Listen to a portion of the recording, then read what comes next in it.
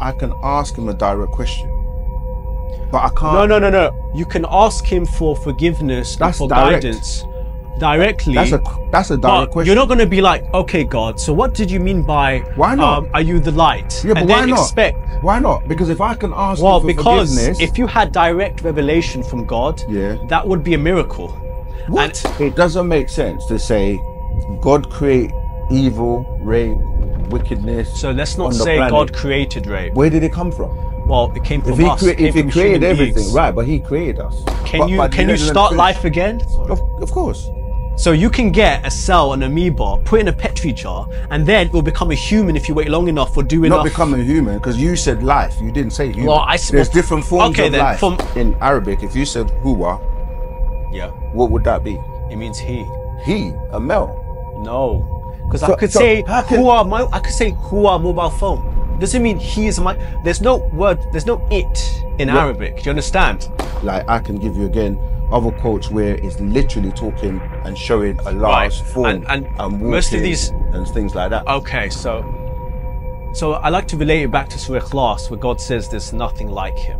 So Okay. that's the first point we need to keep in our heads when it talk when we talk about the qualities of God. Without free will, there can be no evil. So, for instance, we believe angels exist, but we believe they don't have free will. All they can do is good. And Right. So that proves my point. You've just answered my point. Well, what's that? The point that Allah can make you all good. Because if He can make the angels all good, Yeah. He should be able to make the humans all good. Oh yeah, that's. We agree with that. Allah Right, says so in the then- so- Quran, we so could have how made did everyone he- Muslims. How did Iblis become Iblis? How did he have the ability?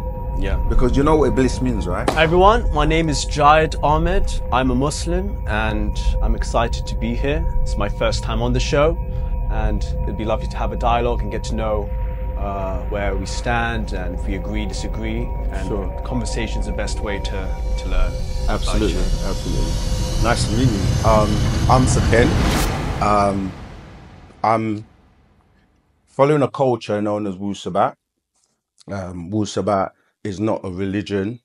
It's um, it's for everyone, but it's really African spirituality, and anyone can can join. Um, it's really about providing solutions for for humanity. Yeah. Okay. So yeah, we're gonna have a good conversation today. Um, I kind of have a few points that I think might be good to guide our conversation. Um, so obviously you've you've said you're Muslim. Yes. Um, what I want to know, just by way of introduction, what what type of Muslim are you? Um, because obviously there are different types of Muslims, different sects. So I just want to know which one you are, and um, and also why are they different sects? Um, yeah, that that would be kind of where I want to start from, so I know who. Okay, no Um, worries. yeah. So there are three main types of Muslims in the world today. The first is the majority, roughly 8% of the world, that's Sunni Islam. Okay. And then the rest, the 19%, you could say is Shia Islam. And then the, the rest of them are Sufi. Okay. So the way they differ is mostly in the beginning, you could say it's more of a political split. Mm, So after the Prophet Muhammad, peace upon him, died, uh, there was a dispute about who should lead next.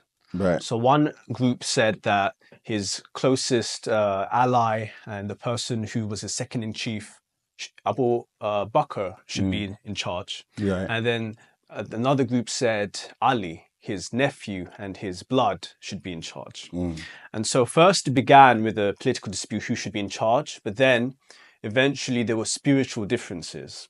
okay. And so the Shias believed that uh, the lineage of Ali is quite sacred.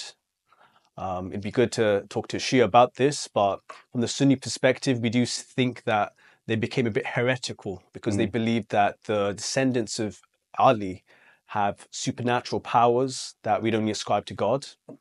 So that's Shiaism. And then Sufism was first it was a, a part of Tasawwuf. It's a it's a it's a kind of uh, part of Islam in of itself. It's it's to do with purifying the soul. It's about uh, contemplation. Mm. But eventually, it became its own sect, and now you know it mostly in Turkey, where you have people who are kind of they wear the dresses and they spin around, and it's about spirituality and becoming one with God. And most mainstream Sunnis would see this as a heretical branch as well. Okay. And then in Sunni Islam itself, there are main, there are four main what we call madhabs. So, uh, I mean, it's a whole science. We're going to have to take the whole uh, podcast to get into this, but Yeah, just I- I'm. Hanafi, What's, what's, so- yeah. yeah. So what what are the four? So we have Hanafi, Maliki, Shafi, and Hanbali. Okay. And different parts and regions of the world, they're influenced by these four major scholars. hmm And they've come with their, and, and so they follow one of these four schools of thought. Okay. Um, but recently, Salafi sectors, not sector, Salafi school has appeared where they don't follow any school. They kind of follow their own interpretation. So you only mentioned four. So what about other people like um, Ahmadiyya? Yeah, you did Oh, mention right, yeah. people like the Nation of Islam. You did mention Ansar, because I know there there are quite a lot of others, but you only mentioned those three. So are those others not considered to be Muslims? So that's a very good question. Um, insofar as Ahmadiyya, Mm. they believe that there's a prophet after the Prophet Muhammad, peace be upon him, Right. that came, um, Ahmed. Mm. And uh, so most Sunni Muslims would see them as heretical as well, because a part of the belief of Islam is that you have to believe that Muhammad is the last and final prophet. But the Ahmadiyyas, they will have arguments against maybe he's the last messenger, but not the last prophet. Mm. And that's a whole discussion of itself. Okay. And then in terms of the Nation of Islam, Yeah. that's another topic. Um, I'm not an expert in it, but from what I believe, what, I know of it, uh, there was a fellow called Elijah Muhammad, hmm very influential, uh, and Muhammad, uh, Malcolm X, Muhammad Ali, they were part of it initially. hmm Um, a lot of stuff happened, but from what I know is that Elijah Muhammad's son in the 2000s, he reformed the Nation of Islam to be more in line with. No, but what I'm saying is when you mention the different Muslims, Yeah. So, do you not? Do, are they not considered to be? so with the Nation of Islam, I think we consider them to be a kind of Sunni version of Islam. right. We don't think it's a sect like the way we think Shia and Sufis are. Right. especially nowadays where they they've kind of reformed and they're more in lines with Sunni teachings. Mm. Okay. Yeah. So how how long have you been a Muslim? Would you say? So I'd say I've been a Muslim. I, of course, I was born and raised as a Muslim, Yeah. but growing up in the 90s and the 2000s, it was more of a cultural Islam. I'd say I fully got into practicing properly when I was uh, an early teenager, when I came across uh, channels like Peace TV and such, which actually promoted Islam and was teaching. it. So like in terms of years, how how long is that? Say about So roughly? I'd say 20, oh, 20 years. 15, 15, 20 years. Okay. So have you done the Hajj? So no, I haven't done Hajj yet. Okay. And in terms of um, you born into it, what's the difference between someone who's a convert to someone who's born into it? Okay, so, so, so, so, what do you? Could you elaborate a bit further on that? Because some people say, because when we had a conversation with your with your um, nephew, I think is it your, your brother-in-law, I think it is, yeah, yeah. He said I asked him the same question, Yeah, and um, because I said to him I used to be a Muslim, right. and I asked him the same question, and he he was basically saying that I I converted into Islam, which is a bit different from being born into it. yeah. Yeah, that's kind of what I wanted to know. So, Okay. is there a, is there a difference So in being born into it and Mm. convert into Islam? So there is a difference. The difference is that uh, when you convert to Islam, there are actually quite a few perks. Mm. Every sin you've done before that point is Yeah. forgiven, and if you are previously a Jew or Christian, you get double the the reward of for converting. Oh, right. So if you were a Jew or Christian before Yeah. you convert into Islam, you get double. the reward of converting. So we do believe in like What's good actions reward? are good deeds and evil actions are bad deeds. And so doing something that God would want you to do, Mm. like alms giving or the rituals of everyday life, you get good deeds for that. And Okay. so So converting in that itself basically is it's like a bit like getting reward points for Tesco. it's like a video game. Yeah, yeah. You just get get back up those points. Yeah, So you get points for being good. yeah. Okay, that's that's interesting. So in terms of um like when you when you're a Muslim, they're supposed to be what they call the five pillars, right? Do you know about the f- So the five pillars of Yeah. Islam, yeah. what? What would what would you say those are?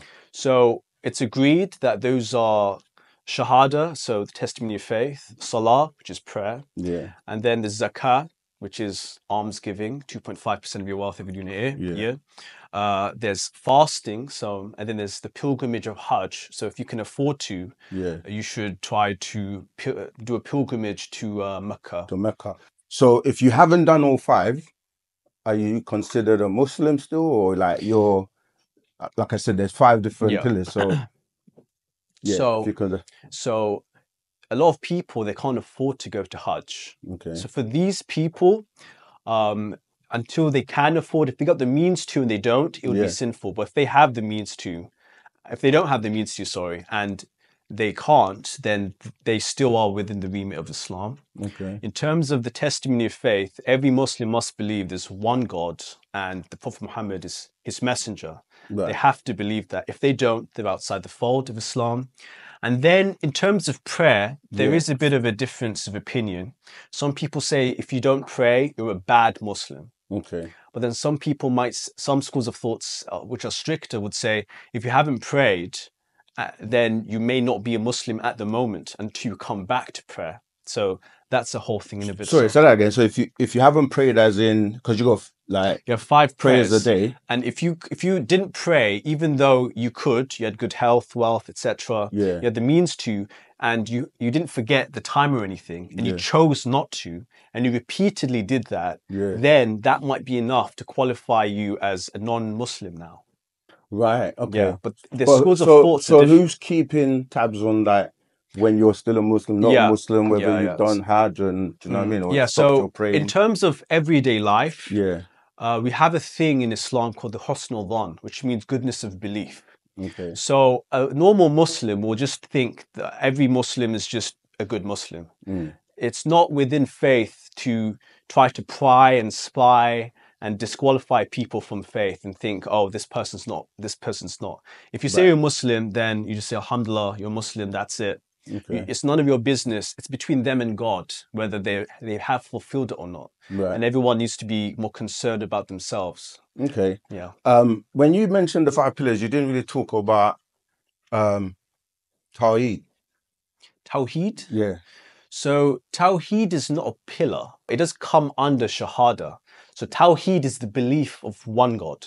Right. That's what I'm saying. So, so when you said about taking your Shahada, that's part of So Tawheed is part of the Shahada, right. Exactly. the belief of one God. Right. Yeah. Okay.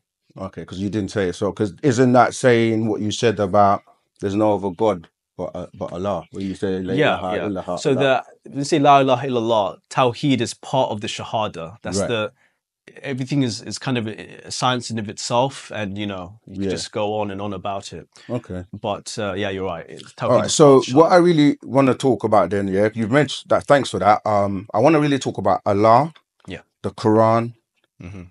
Muhammad, and then um a bit about hadiths, and then um racism. Yeah. Okay. because as I said, I used to be a Muslim, and that those things were some of the things that led me to. After studying it thoroughly, I was like, "This is not for me." Yeah. Okay. So, um, if we would start with Allah, Yeah. what would you?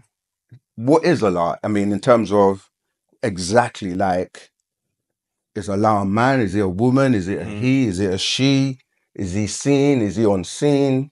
Where is he? Mm, um who you know who named him Allah mhm. just just some questions like I want to know specifically Was about yeah, yeah because when you were speaking you kept saying God you say Mm. God a lot yeah, you weren't saying Allah Yeah. and I think when I had the conversation with your um Brother-in-law. brother-in-law as I was saying I said you can't call Allah God because God is like an English word for the Christian faith and uh, Christians wouldn't call God Allah so right, right. that's why I want to really know about who Of Allah course, is yeah, yeah, Yeah. So Allah simply is the name we believe God has given Himself in the Arabic language.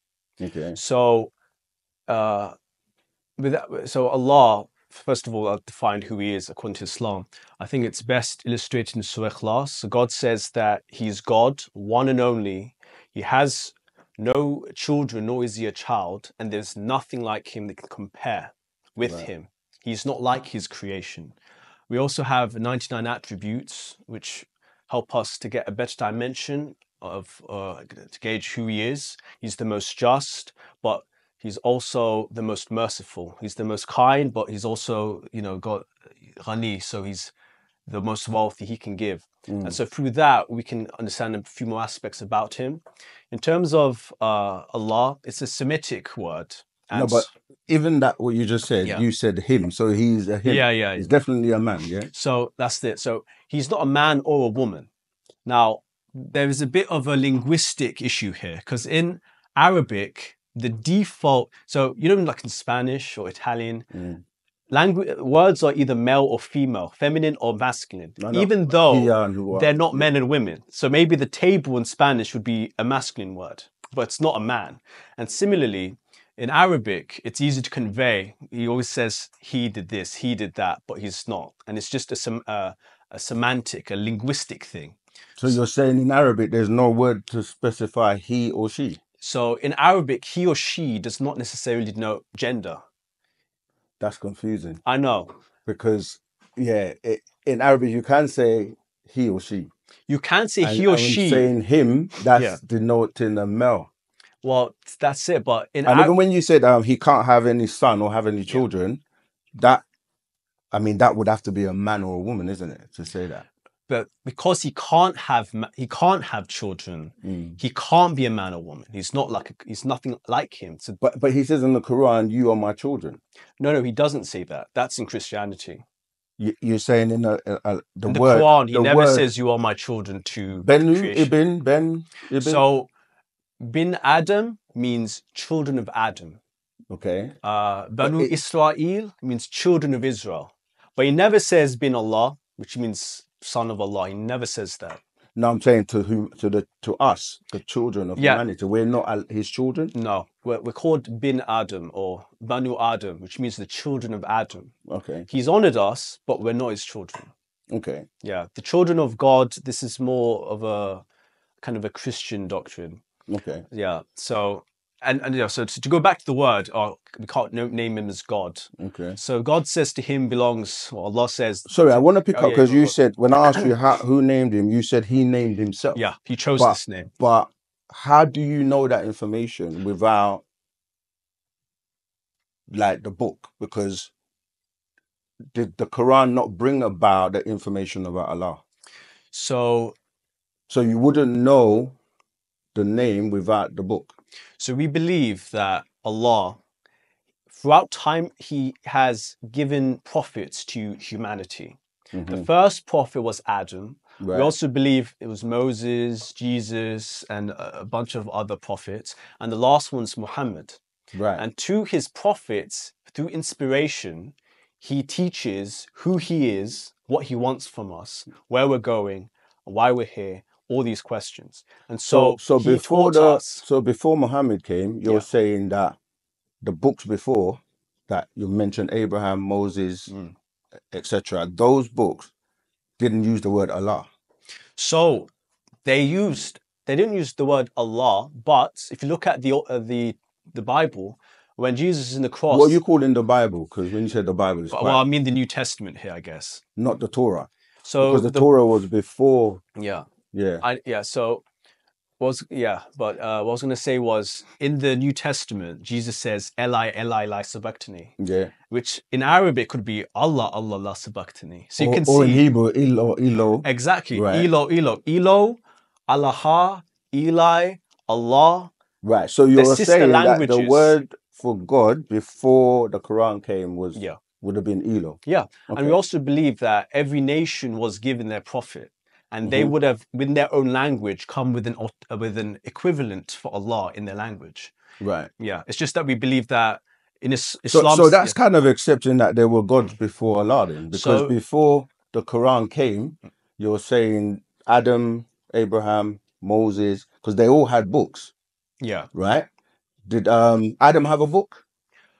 we do. Because you say he was a prophet. yeah. So uh, there's a difference between a prophet and a messenger Yeah, like Rasul and and Nabi. Nabi. Okay. So- So, which one was Adam? So we're not sure. I mean, Okay. some people say he might have been given a scripture, but we're not sure. The ones we do know is David, Moses, Jesus, and Muhammad. We know they definitely got uh, some revelation from. from Have you heard of um a Sahuf? Suhuf? So no, Sahuf. You haven't heard of that? I might do. Can you Okay, no, that that is the book that Adam received. It, it might be. That's that's why I asked. Okay, so Yeah. because Adam had the Sahuf, as you said, Abraham had what? So, like I said, they may have got uh, scripture, Yeah.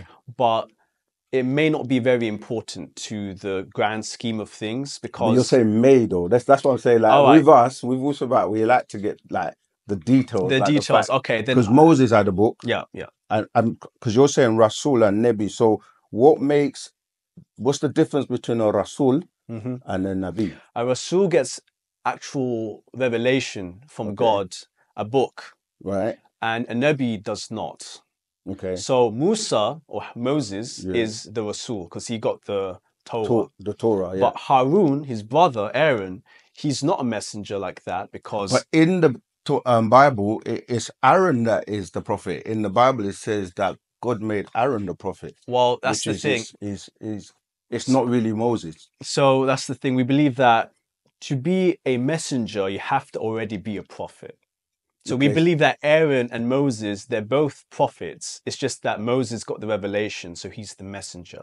That's the distinction. So you're saying. Abraham never got any books. no? There is a tradition where we do believe that he might have got a book. So you're saying might have. That's where I'm saying like I need So- to. Okay, so when they say in the Quran Yeah. to follow follow the religion of Abraham, which is Yeah. Millah Ibrahim, Okay. Yeah. what, what would that be then? So, so that's it. Um, God says, follow the religion of Abraham to the Jews, Muslims, and Christians, and that is monotheism, believing in one God and praying to Him. But but um Abraham's religion wasn't that because he was he was called Abraham or called a Hebrew afterwards because he was um his father, you know, Terah, Yeah. was following Zoroastrianism. And that's what he was following, the, the religion of the But Chaldeans. then we believe, So- yeah, Sorry, go on. yeah. So we believe that his father was an idol worshipper, and his whole people were.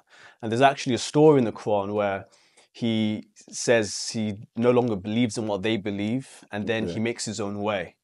And So wouldn't the Quran be incorrect then to tell you to follow the religion of Abraham if Abraham's father, who he followed, was but that's the thing. Follow- Abraham did not follow his father's religion. he actually did. So even if he did initially, he said, I don't believe in this anymore. This is wrong. Okay. This is the religion I follow now, which is Tawheed, believing in one God. okay. And we believe in that. We believe in the God of Abraham. We believe that, and that's that's what I'm saying. What would the all God of- of Abraham be then? that's it. So he told him, he, he told us through this last message that we believe that he is Allah. Through which last? message? the last messenger we believe is Muhammad. Oh, so he, Abraham told you through Muhammad so, that No, no, no. no. So God told us through Muhammad. So uh, okay, we believe that all these prophets worship the same God. right? They all worshipped Allah or whatever equivalent. And uh, the last messenger who's completed the religion, a bit like a firmware update on your iPhone, you get iOS 20 or whatever. That's the last, the latest version for us. Hmm. That completed our religion, and it, it basically is the religion of Abraham, but now what God wants us to do now. And so that's But the- but in the Quran it says that if you're in doubt, go back to that which was before, and that which No, was it before says- would be the so Torah. if you're in doubt, go back to what Allah What has came before. revealed. yeah, which came before. Wait, no, but what Allah has revealed in this context means the Quran and the Sunnah. it, it Sunnah doesn't being- actually say that. But anyway, so Okay. so you're saying the Quran and the Sunnah are mentioned in the Quran. The Quran and the Sunnah are mentioned in the Quran, yeah. Follow Allah, ittaqullah, ittaqul Rasul. So That's follow in the Allah, follow the messenger. Yeah. No, no, it, doesn't- says that. It no, I'm saying says it that. doesn't. Yeah, follow the messenger, but it follow doesn't the- say Sunnah So, because so the Sunnah would be traditions. because the Sunnah, what you just said to me, that's from Bukhari. That's a hadith. That's not in the so Quran. what, what what is the Sunnah? The That's Sunnah what I'm saying. Is the is traditions the of so the Sunnah is that the Muhammad, the the the tribe that Muhammad's culture. So, so the Sunnah is the practices of Muhammad. In the Quran, but it says pray is, five times a day, yeah, but you may not see what you do, how you pray. That's what we get from the Sunnah, and that's what I'm not saying. his. But but That's the not his Quran, tribe. the Quran doesn't say to follow the Sunnah in the Quran. so again, this is That's what I'm saying. That's a hadith. That's from Bukhari's hadith. so we have to define these terms, right? Okay. So the first thing is the Quran says follow the Quran, follow Okay. Allah, and follow and obey the messenger. Follow, obey Allah and obey the messenger. Allah meaning what's in the Quran, and then obey the messenger and what he does. What he does is recorded in the Hadith. The Hadith literature meaning Bukhari, Muslim. Okay. Let me. Let, are okay. yeah, let go me- on. sorry. I got no. Go on. Finish. I didn't. Yeah, yeah. So, so, Mm. uh, yeah, yeah. So the the Bukhari and the Muslim, they're Hadith literature, but what they're doing is they're preserving the Sunnah through what people. I mean, it's a whole science in itself, but it's preserving what the Sunnah is, the traditions of the Prophet, not his people, what he said, what he did, and what he recommends for us to do. Right. But what I'm saying is that the Quran itself says it's the best of the of a hadith. So so really you don't need any other hadiths because the Quran says it's the best hadith. The Quran, so Hadith and Quran are, are, not the same. no, but I mean that's what it says in the Quran. I can give you the quote. Yeah, please, because the Okay, Quran will never find- say it will never say All right. So I mean, if you don't, no, no, it Yeah. does. It literally says that. That's why I was saying to you that. Um, okay, go to Quran thirty nine twenty three. You got your Quran? Let me find it. It does say that because I want you to see for yourself. Yeah. Because, you know, this religion has been here for 1,400 years and we would never yeah, mix I mean, I mean, w- yeah, I mean, this is why we're having the conversation course, because yeah. um, we wanna we wanna kind of get to the to the bottom so what was the reference, please? thirty nine twenty three. 39, 23. I'm gonna. I'm just trying to pull it up as well because you know there are different versions, and like I said in my intro, um, the actual Quran itself is one of the topics that we want to discuss. At the moment, I'm still kind of on the Allah question where you still haven't fully said like because you said he's a he, and the Quran itself says something slightly different about Allah as well. So I want to come back to that. Have you found it? So, sorry, 39 is Surah Az-Zumar, is that correct? Uh, let me see. 23. Yeah, that's right. And 23 is Allah sent down the best discourse, a book containing subjects resembling each other, mentioned again and again, shivered from which are the skins of those who are in awe of the Lord. Then their skins and their hearts become soft enough to tend to the remembrance of Allah. This is the guidance of Allah with which He brings to the right path whomsoever He wills. As for the one whom Allah lets go astray, for him there is no one to guide. So there is no mention here that this is the Uh, best. what what version did what version of um Quran are you reading? It's so I'm using an app. It's called Quran Explorer. Yeah, but even in the app you can choose the different like is it Ahmadiyya? What what what version is it? so we don't ever. There is no Ahmadiyya Quran. There's the, the, okay, so there's not different versions of Quran. So the Arabic, there's only one version of the Quran that's been preserved, we believe, for 1,400 years. You know, on this app you can see there's loads of different versions. so there may be different translators, right? Okay, that's what I'm saying. Yeah, yeah, But different translations does not mean it's different Qurans. It's just humans. But if if me and you we- translate something, but mine is different to yours, yeah, then that's different. So if we have five people translate something and we read all five side by side, yeah. and they're all saying different But things. that's why you can't get any Tom, Dick, or Harry to translate. Many of these. No, but I'm talking about the ones that are actually, you know, reputable or have Yeah, so reputable Qurans. yeah. a person's done an attempt to translate, but we don't believe that that's a version of the Quran. We believe the Arabic version is the true original version, and that this is just an attempt to understand it better. To truly understand it, Okay. you'll have to learn Arabic. But yeah, All right. So, But there is no mention of hadith here. It just says that God sent down this Quran. If you are good and, it's the- follow it, it's all right. What I'm saying is the Quran supersedes the Hadith. Wouldn't you say? I, I so if Allah, that, if Allah's words are the Quran, yeah. and Al- Allah's perfect and knows what He's talking about, Yeah. you wouldn't really need men to try and give you their interpretations or what they say. Do you understand? I'm saying we could just rely purely on the Quran. So we don't need we right, don't right, need right. a man to then tell you something different. So That's the, the, point I'm the, trying the to issue, I understand. Yeah. Thank you for bringing this up. So the issue with this point is Yeah. if you so a lot of people even with madhabs and things they say oh i'm not going to follow imam abu hanifa i'm going to follow myself or whatever like i'm going to do myself the issue with oh this is the quran let me just read it is that you're going off of your own interpretation which you, might not be qualified because No, you're not going off of your own interpretation because the words of Allah is what you're going off of. Yeah, in but the that- Quran, that's the because that's what you're saying. This comes from Allah, and this is the. it comes from Allah. allah but your understanding of it comes from you Yeah, but I'm saying Allah is smart enough to make sure that everyone who reads what He's saying is clear to everyone. right Right. So, so if I'm reading No, no, His but- words, yeah I can't then try and interpret it or change it to right my to suit me or my understanding. So the, the problem with that is that's why he sent a messenger as well. The, Qu- Allah sent the Quran down and Yeah. he sent a messenger to teach us. And then yeah, but that's what I'm saying. That's learned- contradiction to me because you know why? Why is that? Because that's saying that Allah is not capable of sending a message that everyone can read and understand. That that doesn't make sense to me. Because- go on. Because if he, if he can convey a message to humanity, to Yeah. us, then why would we need somebody else to come and interpret Allah's words for us to understand? And remember, the person you're talking about is Muhammad, right? Right. Who wasn't a learned person because he couldn't read. Yeah. So that doesn't make sense either. So- Because if if if he Yeah. can't read, Yeah. then he's not really qualified. So So how is he going to read yeah. the Quran Right. Right. Right. and then tell me the words of Allah when Allah's words are supposed to be clear for everyone? Okay. So we have to understand that the Quran in of itself, even though we have it written down, Yeah. originally it was a recitation. And the reason why Muhammad was illiterate was that was the miracle. The fact that he created the best literature orally without being educated at all.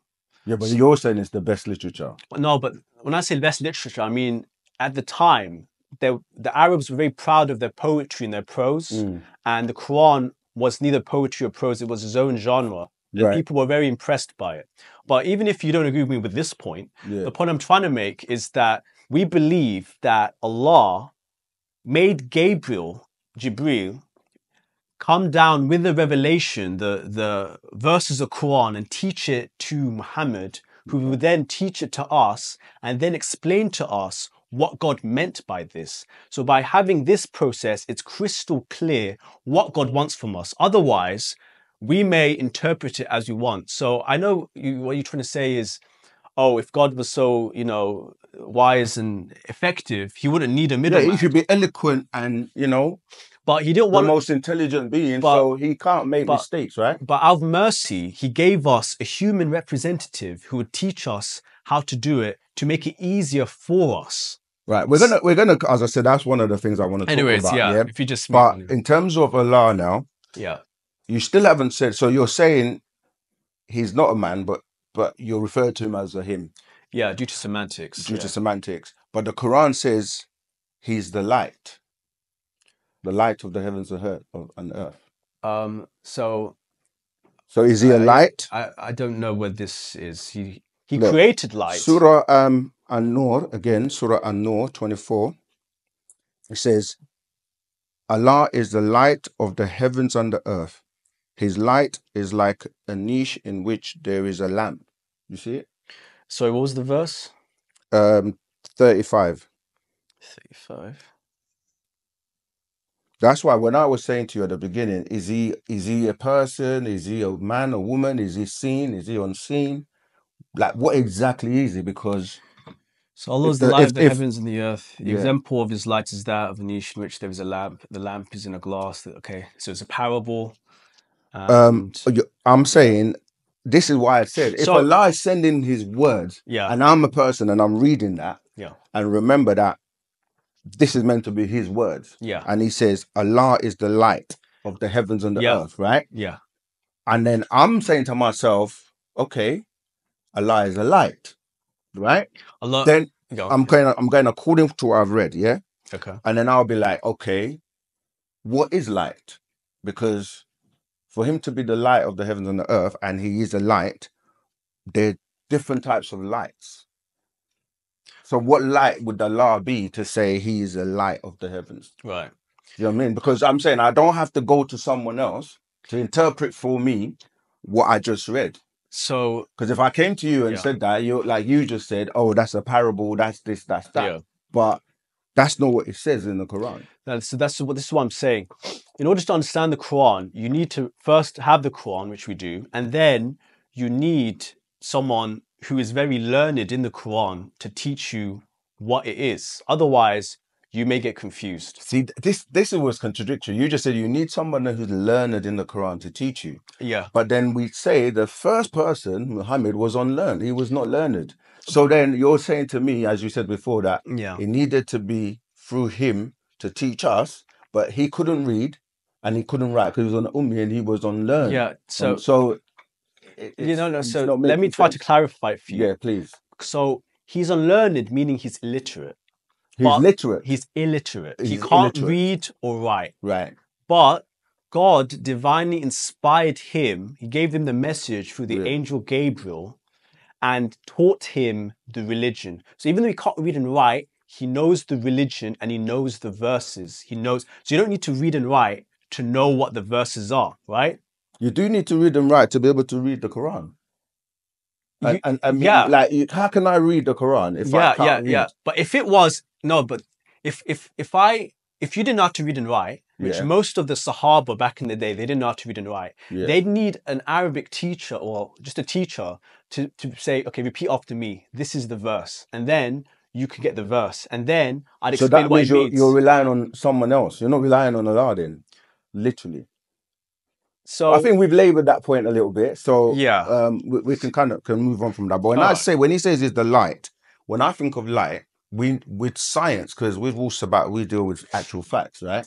Light takes on different forms. We know light is made up of something. right, but Which, you have to make the pho- distinction. photons, Yeah. for example. Yeah, yeah, yeah. Have to- And go on, sorry. yeah, so you have to make the distinction. It doesn't say Allah is light. It says Allah is the light of the world. The is actually a definite article, which is even worse. But you see, I got more quotes here. Look at this. Right. But this All of these quotes are Yeah. saying they wish to extinguish Allah's light with their mouth. yeah.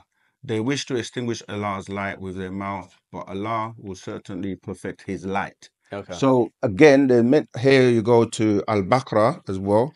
It says the example is that of someone who kindles a fire, but when it lights up all around them, Allah takes away their light, leaving them in complete darkness, unable to see. So, in order, I, I mean, this might sound like a a pedantic point, yeah. but it's important because I'm trying to find out who and where and how Allah came about and where He is, and whether or not, because when I read the Quran, I see, like, I can give you again other quotes where it's literally talking and showing Allah's form And, and and, most of these and things like that. Okay, so so I like to relate it back to Surah Ikhlas, where God says there's nothing like Him. So Okay. that's the first point we need to keep in our heads when it talk when we talk about the qualities of God. Yeah, The second thing is a lot of this is because the English language may not have captured fully what the Arabic's trying to say. A lot of times, light is used as like guidance. They're trying to extinguish God's guidance, His light. It doesn't necessarily mean that God is light or it's physical light with photon particles that people are trying to extinguish. Um, so, in order to know more, we just have to say, okay, what do what does the tafsir say? What does the actual yeah, but this is what this is where this is the confusion because okay, let's we're coming to the Quran, but I can show you right in Quran seven one forty three. It says that Moses saw Allah used, and the term is using eyes. Yeah, in Quran eleven thirty seven, Allah has hands and eyes. Quran 36 71, Allah has hands. The same with 38 75, 39 56, 42 11, Allah is a thing. Um, 43 84, Allah dwells in the sky. Okay. You know what I mean? So, like, if I'm reading this, You need a Um, teacher to tell you what it means. Because if you just think, if you just look at for the literal English, you'll be confused. For instance, where it says God has hands and he grasps all things, or God's got feet and he's going to stomp on people in hell, it doesn't. It doesn't mean like our hands and our feet. so what does it mean? Well, so what it means is that God's trying to give us an image of what. He, so it's a, it's a whole Arabic thing, but basically, what it means is that God's trying to give us an image of what He means by what He's doing. I know it's a very wordy way of saying it. Yeah, but that's what I'm saying. Like, if it's But for it the whole literally mean world, he has a hand and he has feet. It mean whatever it is, it's different to us. Yeah, but that's that's somebody just now making interpreting it into whatever it is. Because, like I said to you, right in Arabic, if you said huwa, Yeah, what would that be? it means he. He, a male. No, because I could so say can- who my I could say who are mobile phone. It doesn't mean he is my. There's no word. There's no it in Yeah. Arabic. Do you understand? So Okay. we're just getting caught up in lots of semantics here. Hands, light. No, no, but I, I'm just saying things. to you, It sky. it's the same thing because you keep saying God, yeah, and even when you use the term God in the Bible, it shows you like where like Genesis 19, 13, where it says the Lord has a face. Exodus 33, 11, he says the Lord has a face. Yeah, yeah. Exodus 31 18, the Lord has a finger. Psalms 10 12, the Lord has hands. Mm. Eh, Um, Psalms 18 8, the Lord has a nose. Psalms 18 9, the Lord has feet. Psalms 33 18, the Lord has eyes. You see what I mean? So Yeah, even when, the- when we're it says, describing yeah, when we're describing God, because you Yeah. keep using the word God, and I go to the Bible, you see God talking and has emotions and he's walking, and you go to the Quran, you see the same thing. And they both are from Abraham, who is the father of all nations, as it says in the Quran. So, in trying to really um, break down and learn and establish what the message of the Quran is, it's confusing for people if you're saying, I have to go to somebody to interpret it for me, but yet Allah is the best guidance and the Quran is his message and the best message Yeah. for humanity. no, but So I don't actually really, I shouldn't have to need anybody but else. you should because if I got the Quran to you right now, Yeah, in just the Arabic with no English translation, and I said, read that, yeah. you'd be like, I need a translation. I need Not a if middle I, person. not if I could read Arabic. But That's then even remember, if it was it was given to Muhammad for his tribe, the Quraysh tribe originally. Yeah. originally. yeah, Right. So they would be able, there's no point Allah giving me something in my tongue for me to read and then I can't read it. That's back from, that to me doesn't make Well- sense. I would have to be able to read it and he would have to have known that Muhammad couldn't read in the first so place. is so is the, the, first thing Gabriel said or Jibril said to Muhammad was what? He said read Which is, what was the word in or Arabic? recite Iqra. Recite. Iqra means read. well, it doesn't necessarily Okay, mean if- even if you say, even tablet. if you said recite, yeah, yeah, to recite something yeah. Sorry, is from your head. You recite something from it's your from head. your. It's you don't your you don't read to read something It's, to read it from the book If you recite, and I'm that's what iqra reciting means read because he says when you translate it read in the name of your sustainer which da, da, da, da, da. Yeah, so it did mean read and it's like you're asking someone who can't read to read and then you like you said the angel to Jibril- recite, to recite. Okay but what was he reciting because the He Quran wasn't there yet But it was. It was in the what we call the al-Lawh al Mahfuz. So it's it's called the mother of the book, and it's with God, and it was already there. But God, it was already there where because it was already with God. because it wasn't compiled yet the Quran wasn't It wasn't together. compiled physically in a book, but it already was with God. And right but how was um how was Muhammad gonna read it if it's with God well, that's why God sent Jibril as his messenger to the messenger and, And asked him to to recite. recite. but how can he recite something which he hasn't got yet? But he, so we have to understand that throughout the 23 years of the Prophet's final years of his life, Yeah. the Quran was revealed In stages, piecemeal. in piecemeal, right? Yeah. That's what I'm saying. So he couldn't have read it at the beginning when. So when recite the Gabriel verses came. of your Lord, and these are the verses that are being revealed to him. Yeah, but what I'm saying is, listen to what I'm saying. I'm saying to Yeah. recite something is to know it from your head. Like if I've got lyrics in my head, I can recite those lyrics. Yeah. to So read something is for me to have the piece of paper yeah, with the stuff to read, and then Right. I start to read. yeah. So Jibril Yeah, inspired the. Prophet to recite. he inspired him to recite. Well, oh, sorry, Allah inspired the Prophet through Jibril to recite. What? Okay, you know what? I'm, I'm still not getting that because that Yeah. that Allah can give the message directly Yeah. to Muhammad, Yeah. but he doesn't. He gets someone to come to tell him to read, He- but then Jibril, you're yeah. saying it's not to read, but to recite it because the- it's already the book is with God, and he's reciting it because the angel Gabriel is inspiring him. It's, it's confusing. You haven't clarified. So properly. simply, God, Gabriel, Muhammad. right? God has the Quran. Yeah. He's saying, okay, tell Muhammad this part of the Quran.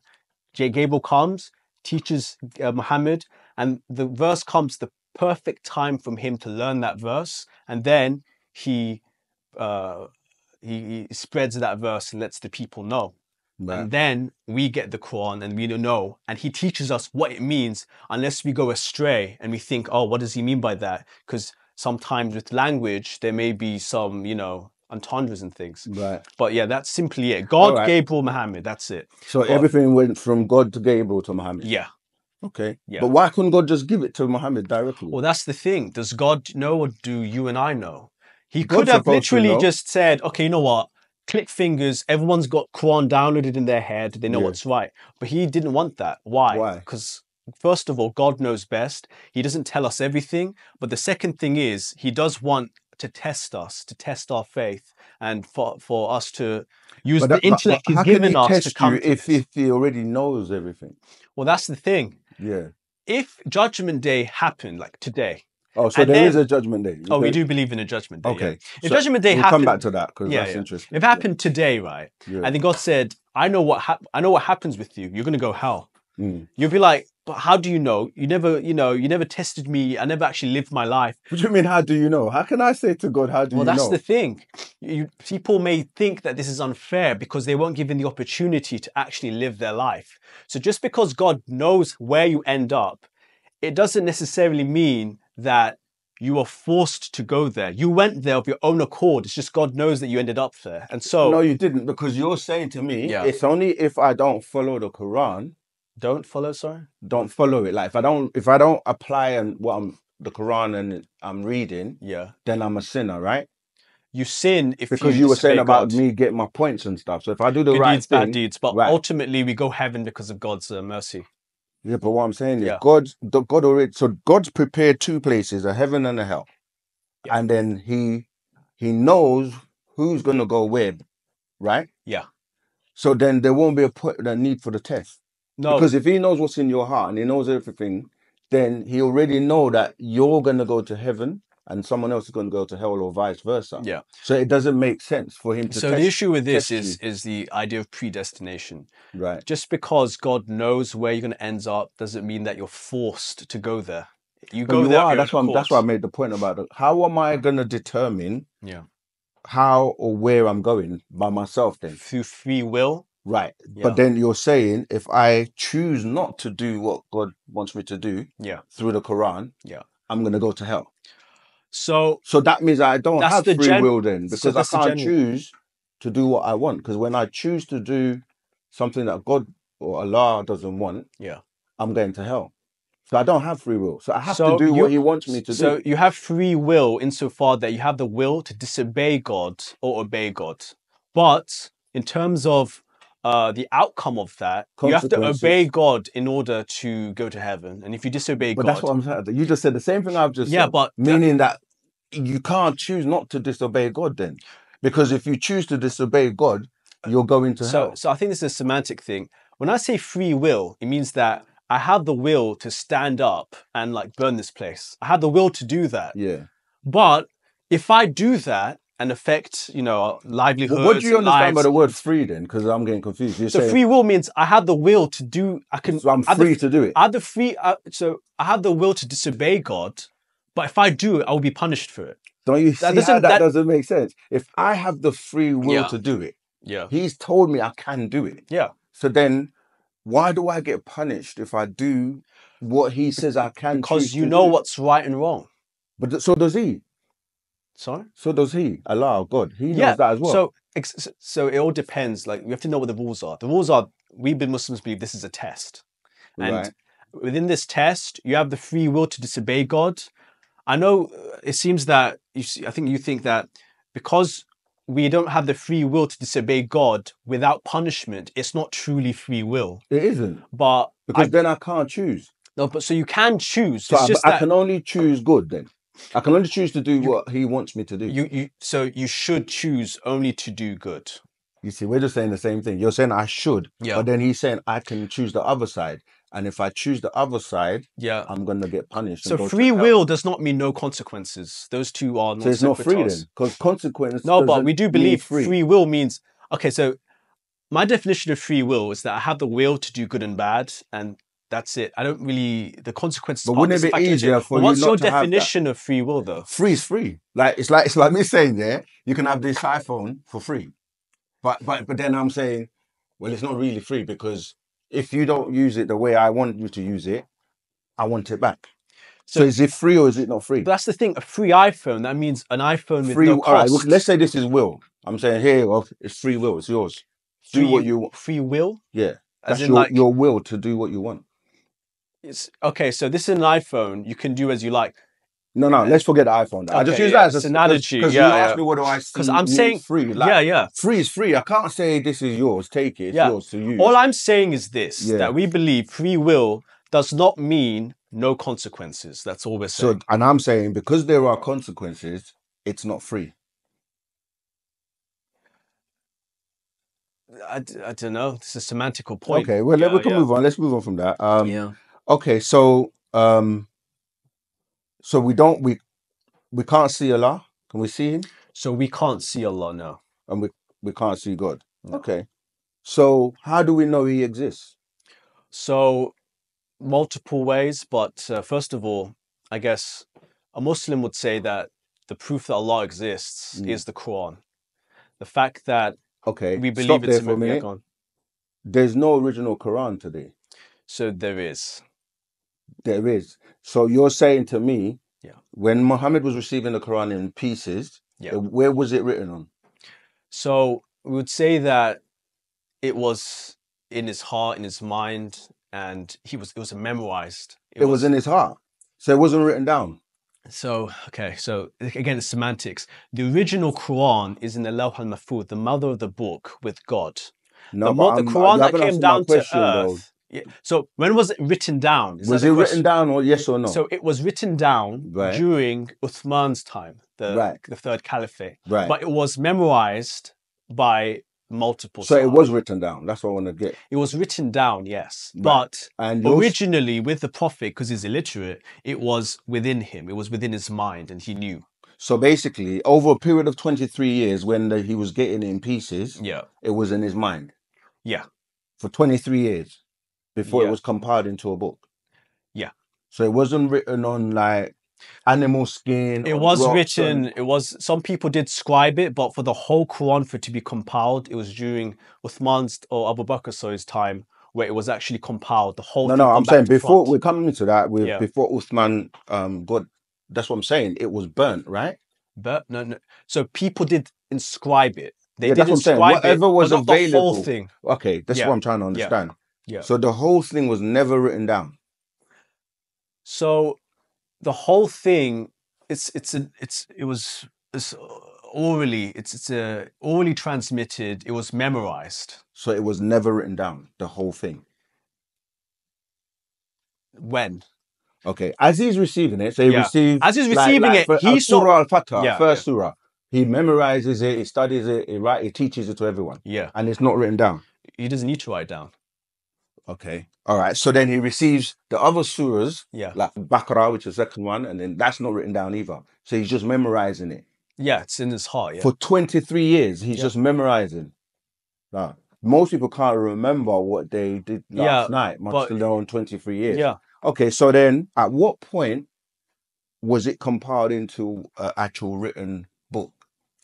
So And and and what was it compiled from? yeah. Okay. So so just to lead on for the last point, Yeah. I know most people can't remember. I can't remember what I had for breakfast last week. Yeah, that's why I'm But surprised. that, first of all, we have to understand that we believe he's a prophet. He's got supernatural, mir- miraculous abilities and things that God gave. but that's man-made. That's not in the Quran. What's man-made? He's super supernatural abilities and all that. That's a belief.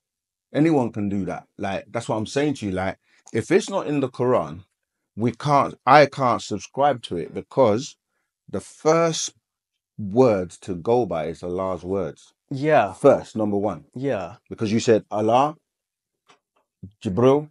I know, but if you So- believe in God, then you have to believe in miracles. no, no, you don't.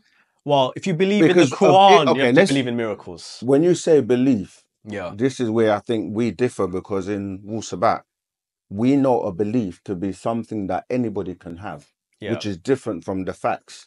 The facts is going to be what is Allah's word? What did Allah say in the Quran? okay. Because that would be the most authentic word, you see, before other people's like Right. interpretation or Okay. what they say it is.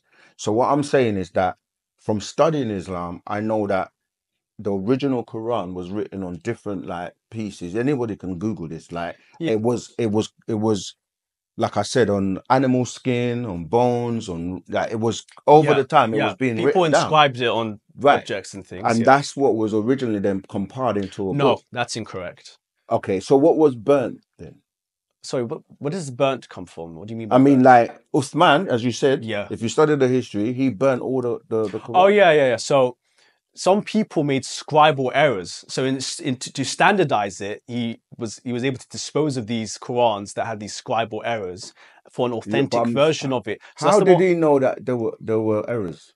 Well, because I don't know if you know this, but like uh, the Quran is oral. It's it's a thing that you memorize. Yeah, I do know because Quran Muslims they memorize many chapters. Some people memorize the whole Quran, and it's not so. It's not like the Bible. no, but what I'm saying is to memorize it. recite it every day. To memorize it, Yeah, you and have to- correctly memorize it correctly. yeah, yeah, you have to memorize it from something.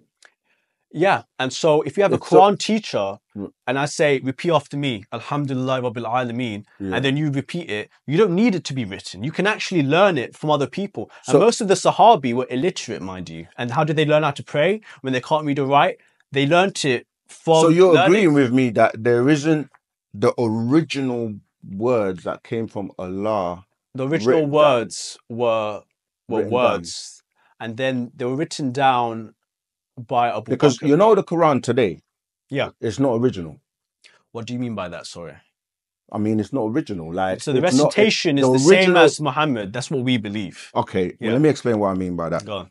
The the the order of the Quran is different today. You know that, right? Yeah. So when they So so surah the the first surah, yeah. what number would that have been originally? So I don't know, but It was What- a ninety six. but what I do know is that after all the verses were revealed to Muhammad, Yeah. we believe that Allah instructed the angel Gabriel to tell him what orders all the surahs should be, or the chapters should be. So we believe that. so when he was getting order it, it it, is- wasn't the order he was getting it in. no, no. Okay, explain that for me. So just because it's not in the order that you find it at the end doesn't mean that that's how it should be. Like, What I'm saying is, it's been it's been turned like it's been moved around. Things are different now. Even the Arabic is different. okay, so That's- I, I that's I'm don't agree that the Arabic is different, but Okay, do you know that to- a system of grammar was introduced into the the original Arabic? so what do you mean by that? Sorry, Okay, so do you know what Taweed is? Taweed. Tajweed. Yeah, Tajweed, yeah. Right, yeah. So tajweed is how you would recite things. Right, Right. it's a system of Arabic Yeah. that was introduced with the vowels like the Tamil So- Buta and all of that. Yeah, yeah, which, yeah. which is where that's what I'm saying. so I, I- don't think you're sitting you're gonna sit here and really say to me that the original Quran that was received by Muhammad Yeah. still exists till today. I so it is. I mean, yeah. You're saying it is. So when you say the tajweed point, Yeah. this is what they were reciting. It's just years later where people are studying, so this is what they were reciting. Let's give these rules names and let's call it tajweed. It's still the same thing. No, but When, the- you're, when me and you are conversing, we're talking, but maybe thousand years from now, let me be like, actually maybe I can oh. show you something. But keep talking. I'll Yeah. try and find something. yeah. So just because it's tajweed, it's it's it's the same recitation. Yeah. This is um, this is a Quran. Yeah. Okay. Which which our teacher um translated. Yeah. So is there Arabic in that? Or yeah, yeah. There's Arabic. That's why. That's why I'm trying to show you because Cool. it shows um like I don't know if you, I mean we don't have time to kind of go through it now, Yeah. but you can see yeah the different that the original order. That's why I was able to tell you. Look, the order that you got one, and then the original Okay. one would be ninety six. Yeah. Okay. Um, I mean I can give um the brother this, but you see, look, the original script of the Quran. So you've got the English equivalent, the initial, the beginning, the middle, and the end. Because when you study the Arabic, yeah, you can see. And um, what I want to show you is like, obviously, it's got the whole history and everything in there, yeah. Um, the different people, Yeah. but if you look at here, for example, you got like it shows you the Arabic and the Aramaic Hebrew, because me and your um brother-in-law we were talking about this the last time. Right. So you can see, for example, the word, for example, peace in Syriac Salam, Arabic, shalom. Yeah. right? So Similarities. like yeah. that, like you say Dawood, David, Dawood, yeah, Yeah. exactly. It's So you can you can see the actual script of each one, and then when you go into like there's different variations of of the words as well, yeah. But we can um like I said for time. See, look, this was the the cover of the book, and that would have been the original classic because you've got different types of Arabic here. That's a classical Arabic. So by the time you get to So, sorry, Sorry. for cutting you off. no, yeah. go ahead. So I think I might know what the issue is here. So even us, like I'm Bengali, right? We have an Indo-Pak friendly Quran Okay. where the script is easier to read. What's an Indo? Indo-Pak, Indian, Indo-Pak, Pakistan. yeah. Oh, it's sorry, I didn't even ask you about where you're originally. Yeah, yeah, my parents from Bangladesh. Okay. So Indo-Pak. right. But if you recite it, it will sound the same as the Uthmani script. Even though the script is different, the recitation's the same. Right. And we have to remember that the Quran is a recitation ultimately. But this is where this is Just where because it's written in a different style doesn't mean it's any different. The meaning's the same. It will still say Alhamdulillah Rabbil Alameen in the beginning. right. And that's because that's what God revealed. But But, but- the that- Indo-Pak may Yeah. be like, oh, they made it clearer and longer, and but it doesn't mean it's any different in the meaning. It's the same meaning, and that's why we believe it's the same. And if you look in the Birmingham, uh, you look in Birmingham, you can find one of the oldest manuscripts of the Quran. Yeah. it's literally the same as the one we have today. okay, so like you see this, this is the Moroccan Quran, yeah. All right, let me have a look. Yeah. I'm a bit short-sighted. It's all right. You see how that is. Yeah, so I, different? I can see so this sometimes in Arabic they do calligraphy.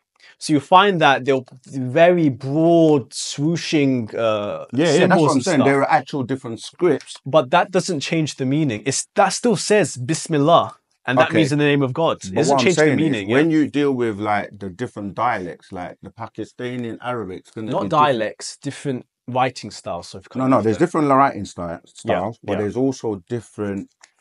The way that Arabic is spoken in different countries So different. we have, I There- think what you mean is the different qira'at. There's warsh, hafs. We have like seven or eight modes of recitation, Right. but the meaning will be the same. It's just to, it was revealed to Muhammad, we believe, because uh, during the, the time, people had different accents. And Okay. so to accommodate that, but we still have those preserved. All right. If you do want to, um, we can look. You can have a look at this um, at some point. This is this is a Quran that was translated word for word, um, without like trying to be on one person's side or another. It's just like this is what the Arabic says, Right. translated to English. But you know, we've kind of covered about Allah and the Quran a little bit. Um, so if somebody's reading the Quran today, they're reading a translation into English. This is why when they say, like I asked, what does Allah mean? And, and your brother-in-law was like, it means God. But in the Arabic, it wouldn't mean that. Well, Allah means God, or the equivalent, the, the one God, the one that we worship. Well, but no I'm saying, how does Allah mean God when it's English? So again, semantics. Because again, we have to look at when the language was, when the language came to be. yeah. You see what I mean? And are, are you saying because Arabic's fourteen hundred years? Yeah. Well, we believe Arabic was is a very ancient language. If you can look at the branch, the Semitic tree. It's it's more than one thousand four hundred years. The Quran was revealed that time, but Arabic was there before then. Okay. Yeah. So so you're saying when the Quran was being revealed, Yeah, it was being revealed in Arabic, we believe that. Yeah, but Arabic was already there before that. Arabic was already spoken. Yeah. Okay. All right. So let's move on a little bit because I think we've covered uh, Allah and Quran. Yeah. Um, what about right Muhammad? Yeah. Yes. Where do you know? Do you remember when he was born or where he was born? So we believe he was uh, born in Mecca. Well, in, in the Arabian Peninsula, he was born maybe around 1,400 years ago, and uh, yeah, And when he was receiving the Quran, when he was around 40, he started receiving right? the Quran. And and he um, do you remember? Do you know who Waraka is? so Waraka was this Christian oracle, Yeah, Khadija's wife's cousin. that's correct. and he went there in order she she went there because he was getting this revelation and he was worried why am i getting this revelation and then waraka said from signs like he had a birthmark between his shoulder blades that you're a prophet and uh, you have to deliver this message and this is what i think is up with you and then after that he realized he's not crazy he's actually has to deliver the message that's what we believe so how did Waraka know that? The, why did why did um Muhammad have to go to Waraka for Waraka to tell him Yeah. that he was? So we actually prophet? believe in Islam that the Christians and the Jews were actually notified that there'd be a messenger born in the Arabian Peninsula. Mm. And so a lot of Christians and Jews actually went there in order to see if there was a messenger. right. And so Christianity, you find in the Sirah that there's Christians and Jews there, and Mm. there's a very interesting interplay between them. So he went there because Khadija said he's the most wise. And we do believe that parts of Christianity and Judaism has truth. And uh, th- that's why So- he went so- to the knowledge there in, in the beginning. Yeah. So um, does Islam accept the Bible then? So this is this is a very important distinction to make. Yeah. We believe in the Torah, we believe in the Injil. But we don't believe the Old Testament and the New Testament are those things. The Torah was given to Musa, peace be upon him, and the Injil was given to to Isa, and all the other stuff was just added on by rabbis or historians or people, and so these are distorted from their original manuscripts. That's what we believe. Right. So what about the hikmah? So the hikmah, hikmah is wisdom. It comes to usually prophets, we Mhm. believe. Um, God says that He does reveal hikmah to certain individuals and saints, like Right. Luqman. Um, but we don't believe that the people who distorted the Injil So and the Torah did, did um didn't David get the hikmah? So yeah, because he's a prophet, he most he probably yes, he got the So you hikmah. accept that he was a prophet and he received the the, the, book- revelation, which, the in. English would be what? The book of The Zabur would be the Psalms, of but Psalms, it's yeah. not the actual from the Bible, the book of Psalms. We don't believe that. Sorry, you can lost me again. Sorry. Yeah, we believe he was given the Zabur, and it's often Yeah. translated as the Psalms, but we don't actually believe it's the book of Psalms in the Bible today. We believe So where is it? distortion there. Where is that book then? Well, we don't know. We don't know what happened to exactly. So how can we not like how can we accept these books? Well, we don't know where they are, but then we only accept like the Prophet Muhammad's Yeah. book, so not the others. so So, we- the book of Revelation, the Injil, is that the the Injil is the book of Revelations, right? No, it's we believe it's what Jesus taught, or what Je- it's, it's a it's a book that Jesus had that he recited to the people, but we believe that it wasn't preserved. It was probably lost in time. Okay. Now, to go back to your previous point, where you said, "How can you believe in these things also, and you don't even know where they are?" Mm. Our bel- our belief is that we believe that these were the truth at their time. We may not have them today, but all of their the best parts of their message have been preserved in the Quran. So the way we look But at it, you're is like a saying the Quran's been preserved, Yeah, but other books haven't, which came before that. yeah, we believe. Yeah, That's a, that's a belief though, because they have found many scriptures yeah, that came before the Quran, as in writings and tablets, and Yeah, you know they that- did, but we don't believe they were preserved the same. So, for instance, like I said with the Birmingham Quran, you can see that the recitation is exactly the same. But then with the Bible, we believe we know from history that the Romans got in charge of Christianity. It was originally Jewish Christianity, became Roman Christianity, and then they canonized certain books and they threw away certain books. Those books were Okay. found in Egypt Yeah. in the Dead Sea Scrolls, and yeah, whatnot. the Qumran tablet. Yeah, and Mhm. and so there, there's differences here, and Okay, so, so yeah, so you said that Muhammad would go to Warqa for help, yeah, in the beginning of his journey. but he never converted to Islam all throughout. Even Yeah. though if he's saying that's the last testament and it was sent through Muhammad and it's the right, he remained a Christian, and that ties into what you just said about the Catholics having a hand and an involvement with the Quran. So what I would say with that is Waraka passed away.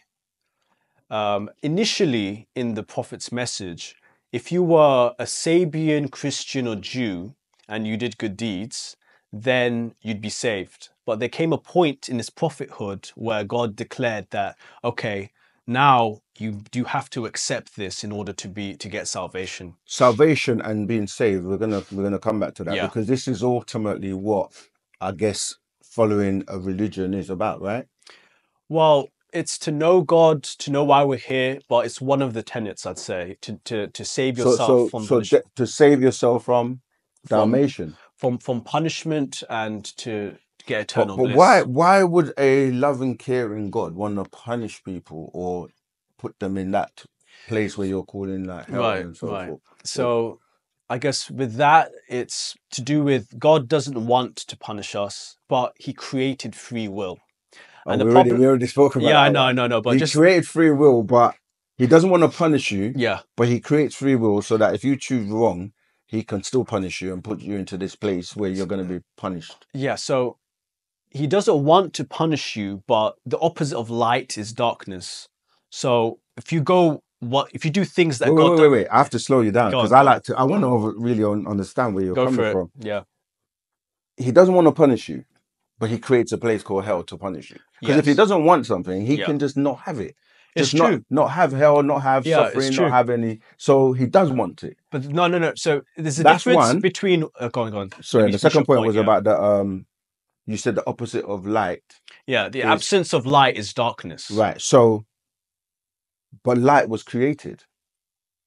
Yeah. So, so it would that means darkness existed before light. Well, I was trying to make a point about. Uh, go on, we'll come Yeah, back yeah. to that. But yeah, I Yeah. want I do want to touch on that. Yeah, so for instance, God doesn't want to punish us, but He's given free will. And what what do you say? Like when when a person who's a rapist, murderer, he's a really evil, nasty piece of work, and he's done such evil to so many people, and God gave free will, so He said you have the ability to do that, but there will be repercussions. Unfortunately, the place you know that what I place would will say to go that? to is hell. I would say, Yeah. why did God allow all those things to happen in the first place? The the murder, the being a horrible person, being Yeah. an evil person. Because if God has the power, Yeah. like you say, Mhm.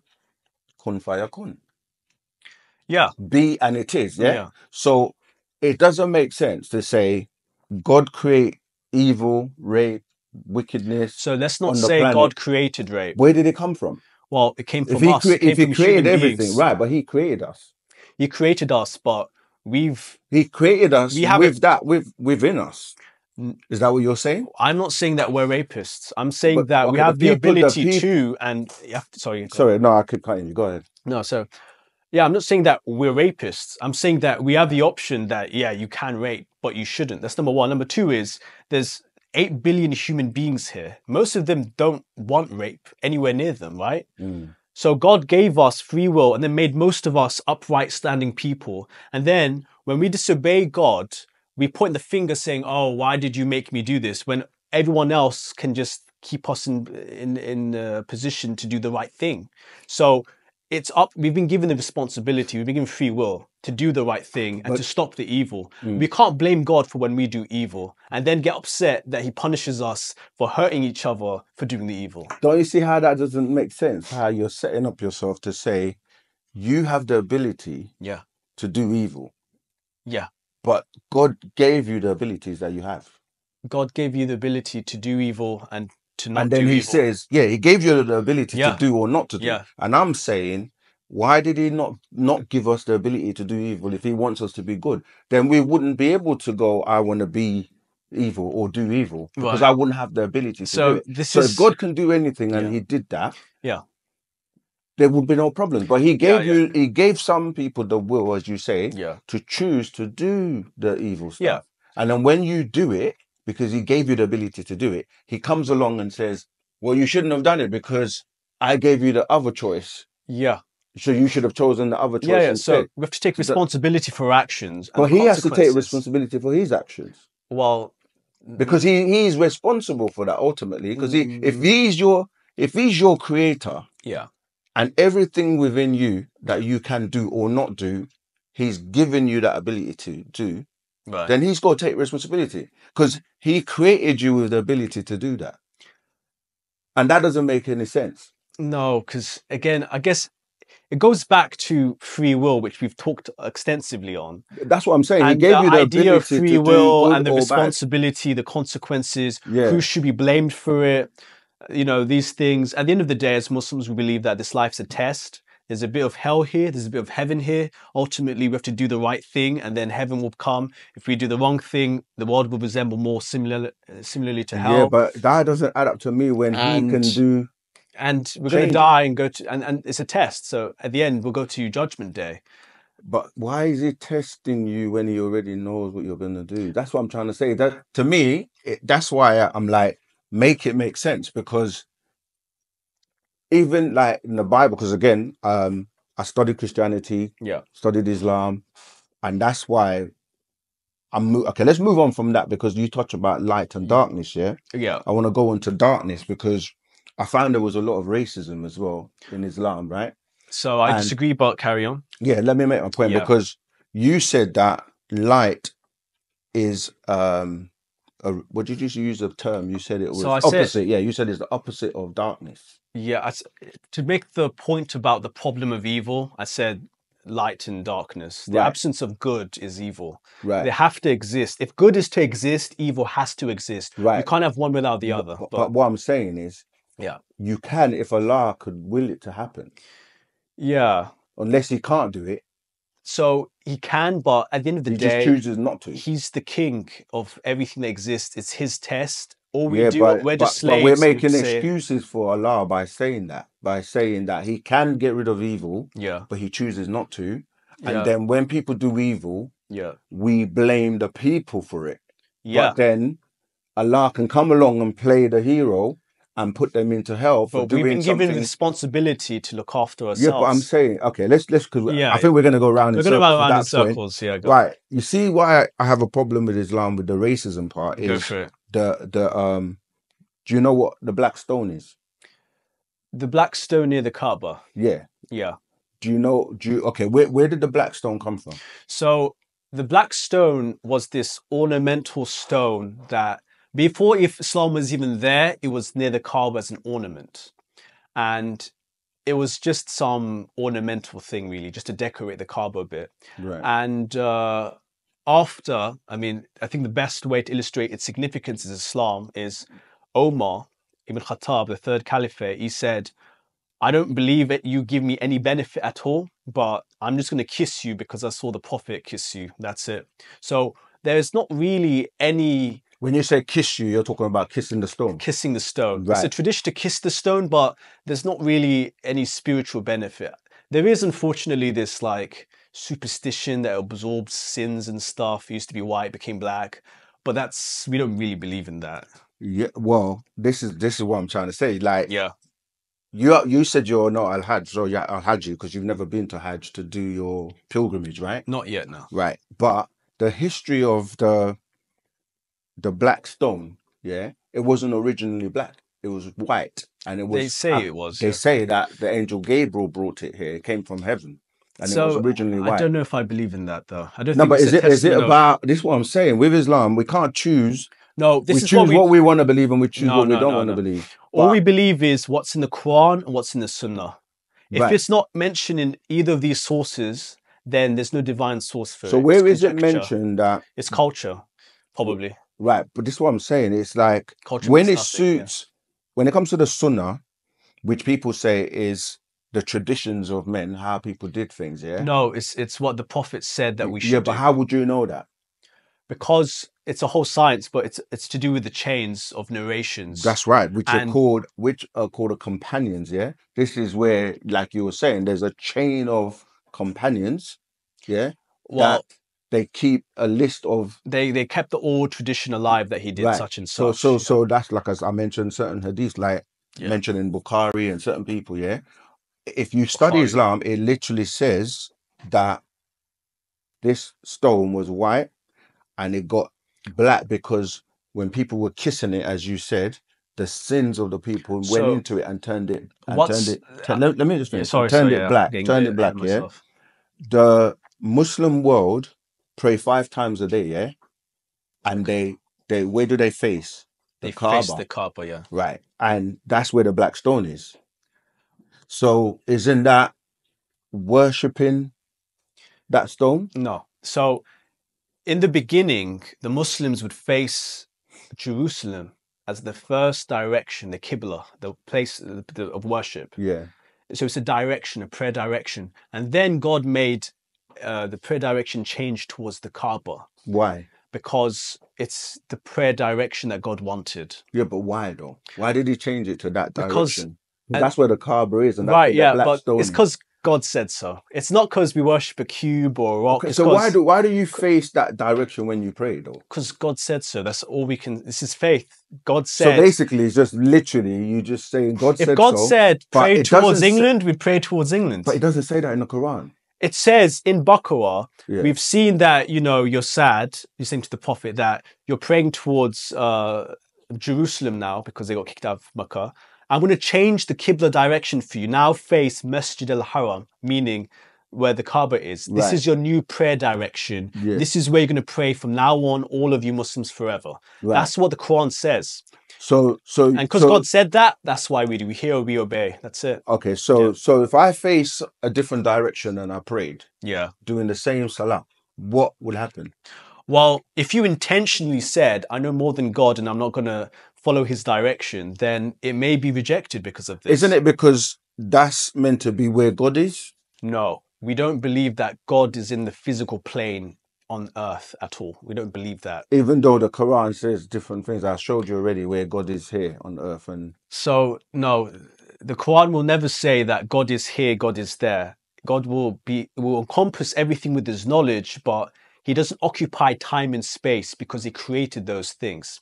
But I thought sorry to like No, no, of go on. interject, but I was wondering like what the racism element had to do there. the Because it's quite a racism. grave yeah, thing, because because the racism thing is that when um when when when I was studying Islam, I found out that there was a lot of racism in it, in the sense of this whole thing about the black stone, um, you know, facing that way to pray, and um, that if you didn't do that, and the thing about the you know the stone being black because of people kissing it, and it turned from white to black, which is kind of saying that it was pure and white, and then it became black when the sin. So it's like black is synonymous with being sin or evil, you see.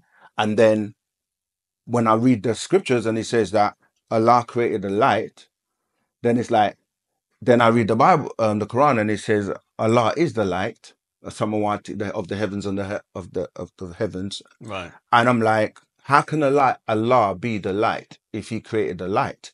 And Allah would have had to be in black or darkness before the light, before He created the light.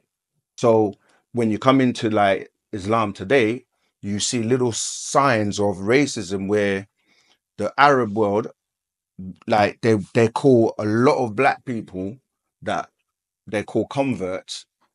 They call the names are given like Bilal, and then the slavery element ties in when we go into like the slave trades, and then I'll tie it with Islam, and you're getting things like, you know, like Abd, a, a slave of Allah, yeah, where the word abd means slave. I don't know if you've done any. Yeah, research. Abdullah means slave of Allah. slave yeah. of Allah. So it's like I don't want to be a slave of anyone. I don't want to be a slave because when you look at what a slave is and how slaves are treated and what slavery did for black people, it's not a good thing. Right. And and so that's why I was quite asking a you few about points there we Yeah. need to unpack. All right. So, okay. So we'll start with the first point, which is racism, right? Yeah. So the final testament to Islam and racism is in actually the Prophet's farewell sermon, where he says that there is the non-Arab is not better than the non-Arab. I mean, the Arab is not better than the non-Arab, and vice versa. Men aren't better than women, and vice versa. The only thing that makes you better in the sight of God is piety, is taqwa, is God consciousness. And even the Quran, God says, "We made you different people, not so you should fight each other, but so you get to know each other." In and the only per- tribes, so you can yeah, and- and the only pe- person who's better in the sight of God is the person who's got piety. The more Right. pious you are, so it's a kind of a meritocracy in terms of piety that makes people better, and it, so that that's the first point. Mhm. The second point with culture, with with the people treating people badly, if they do that, then they're going against the teachings of of Islam. Because think Okay. about it, the Prophet, his foster son's name was Zayd he married an Ethiopian woman, a black woman, and they had a son called Usama. And the Prophet loved Usama. It was like his own grandson, basically. Mm. And so there, even interracial marriages and stuff existed back then. It has no place in Islam. This is what we call jahiliyyah. It's a kind of ignorance. It has no place in Islam. And then in terms of slavery, that's a whole topic. Mm. But the distinction we must make is the difference between chattel slavery and normal slavery. Did ev- Muhammad have slaves? Well, I believe he may have, but Okay. but let me unpack it Yeah. for you. Go ahead. So chattel slavery is what was practiced in the transatlantic slave trade in America. Mm. You had a slave, their children were your slave, they were they had no rights against you, they couldn't take you to court, and they were just encaptured or they were just sold to you and they had no rights. They were uh, just commodities, like goods. Whereas slavery everywhere else, and especially in Islam, it was indentured servitude. So if you're a prisoner of war, the way you free to reintegrate into society was you become a slave, pay your dues, and you could buy your slavery. If you were abused, neglected, etc., you could take your own master to court. You actually had rights. Uh, and if you had loans that you had to pay off and you didn't have the money, you would say, Can I be I'll be your slave for a bit, pay it off. And there was no welfare benefit system as well. So if you're if you're hungry, starving in the street, A slave is a slave. I know it sounds Well, to say I know, but that's the thing. Every society had slaves. The black people enslaved the uh, black had black slaves. Asians had Asians. Indians had Indians. The transatlantic and modern technology then allowed white people to enslave blacks. And there's it's two major slave trades that black people went through, as you know, in the Okay. 1600, in the 1400, Right. and then in the 1600. Okay. The 1400 one was the transatlantic slave that you're talking about with the Right. Arabs, and the Arabs actually The enslaved- transatlantic wasn't that to America? Are you talking about the Ottoman Empire slavery? Yep, those those even before Yeah. that in Zanzibar, you know, that those um, Arabs that were enslaving a lot of black people. You see, Okay. so even till today, as you said, when Right. when you take your shahada, which is one of the tenets, Yeah. you're you're, you're given that name of Abdullah, which is a, a slave of Allah. And I'm like, black people experience slavery, and even till today, when I mentioned about like the Nation of Islam, it's really the mainly like the Wahhabi sect and the uh, the Arabs and a lot of Sunnis as well. Um, you you they they still don't accept say the Nation of Islam as Muslims because they say they don't live according to the Sunnah, right? And when you start to look at Right. Sunnis who profess to live according to the Sunnah, Right. they all they dress differently, they do things differently, and uh, you hardly will find a black person that can marry into the culture of one of the, the you know what I mean the Arabian Right. Right. So Arabs. Okay, so Yeah. quite a few things to unpack there. Um, in terms of culture, Yeah, and religion, these things they have to be kept apart. Unfortunately, it's true. Mm. A lot of people don't like interracial marriages. They want to keep things normal, the same. People resist change, yeah, and you know, it all depends on the family. Now, if it is because they say, okay, this person is black and they're Mm. beneath us, that's why we're not going to marry our daughter to them, then that is Islamically that's sinful because we believe that all of children of Adam are equal. So can a Muslim marry a Christian? So a Muslim man can marry a Christian woman and a Jewish woman. A Muslim woman would not be able to marry anyone but a Muslim man. That's what I'm saying. Why though? That's So that why is racism. So why is that? Yeah. It's because when the Mus- when the Christian woman and the Jewish woman comes into the man's family, yeah, if she has children, Islam, isn't it? well, they don't need to. So but- she, so she can remain a Christian. yeah. yeah. But um, the thing is, there's a caveat. You know, they have to be chaste and stuff. But the children will be raised by the husband's family. And so they will be stronger Muslims as a result. This is one of the wisdoms that we gauge from it. Whereas Yeah. if, it, if the shoe was on the other foot, the Muslim woman would have all these Christian and Jewish or non-Muslim uh, family members who would Yeah. influence the children, and so their children would have no faith. So that's the wisdom behind that. Mm. Men and women are they're they're equal, but they're not the same. Men and women are equal in Islam. well, they're equal, but they're not the same.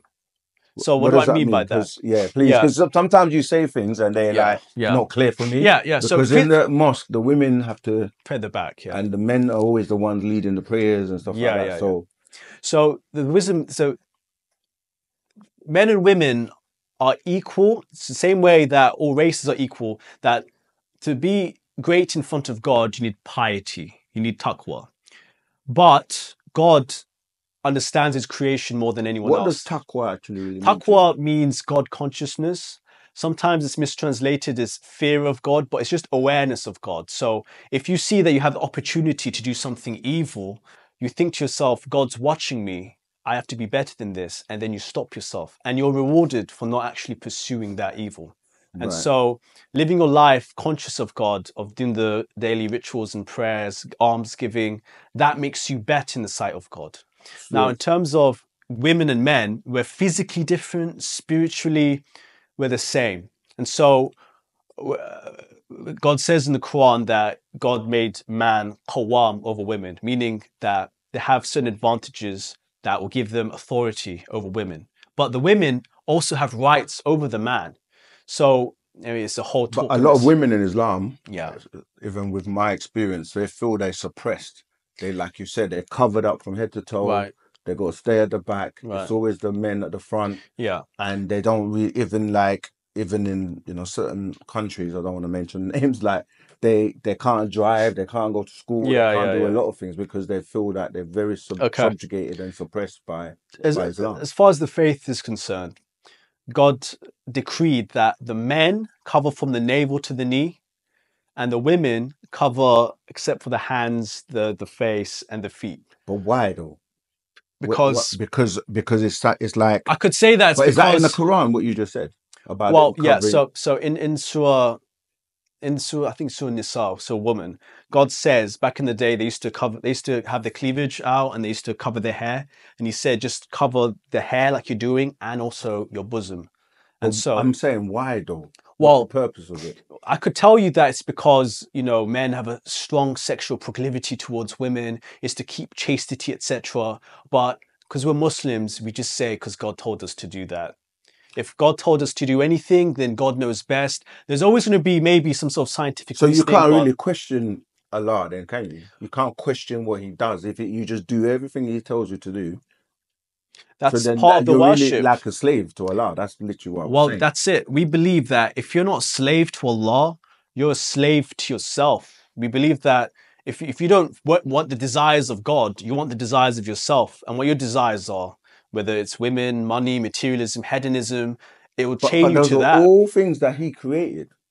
well, Because you can't say He was He wasn't aware of these things. Because this is why I keep saying that this Allah, it's like He will create all these things, give you the ability and the free will to be able to do it, and then when you do, He Mhm. says, "Why did you do it?" yeah, but he knew you were going to do it because yeah. by putting it there, it's a temptation for you to Yeah. do it. So So why would he put you in that predicament or that Yeah, situation? so again, we're circling back to free will and the consequences existing. Consequences exist. He said there are consequences don't do that, and and you have the free will to do it or not. And if you choose to do it and you go in a bad direction, it's on you. It's not on God. And we're, Oh, we're just okay. differing Uh, on this let- point. I think yeah. we've really lab- labored that point. about Yeah, we've really hit that point. But right, let's talk about some more like just general stuff then, Go on. right? In terms of, you know, like what we call like terrorism and things like that. Okay. Yeah, because obviously, um, there are incidences where not just Islam, but um, we're talking about Islam, right? Right. Where you know people put like and blow up buildings, blow up, you know, with bombs and things like that. The whole terrorist thing. Right. What what and they this is where to become a a, a martyr, for example. Right. Right. Right. I want to understand from you Yeah.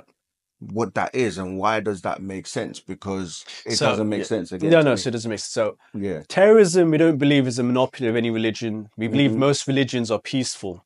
Unfortunately, geopolitics exists. Mm. And guerrilla warfare exists and you have these things up. Now, if we put all the conspiracy theories to the side, we can just say that Islamically, most of the scholars, if not all, say that suicide bombing is Yeah, that's exactly what I'm talking about. Yeah. Yeah, it's it's wrong. Uh, you can't just say you'll be a martyr because you kill yourself. Killing yourself in Islam is a grave sin in of Mm. itself. You may not go heaven if you kill yourself.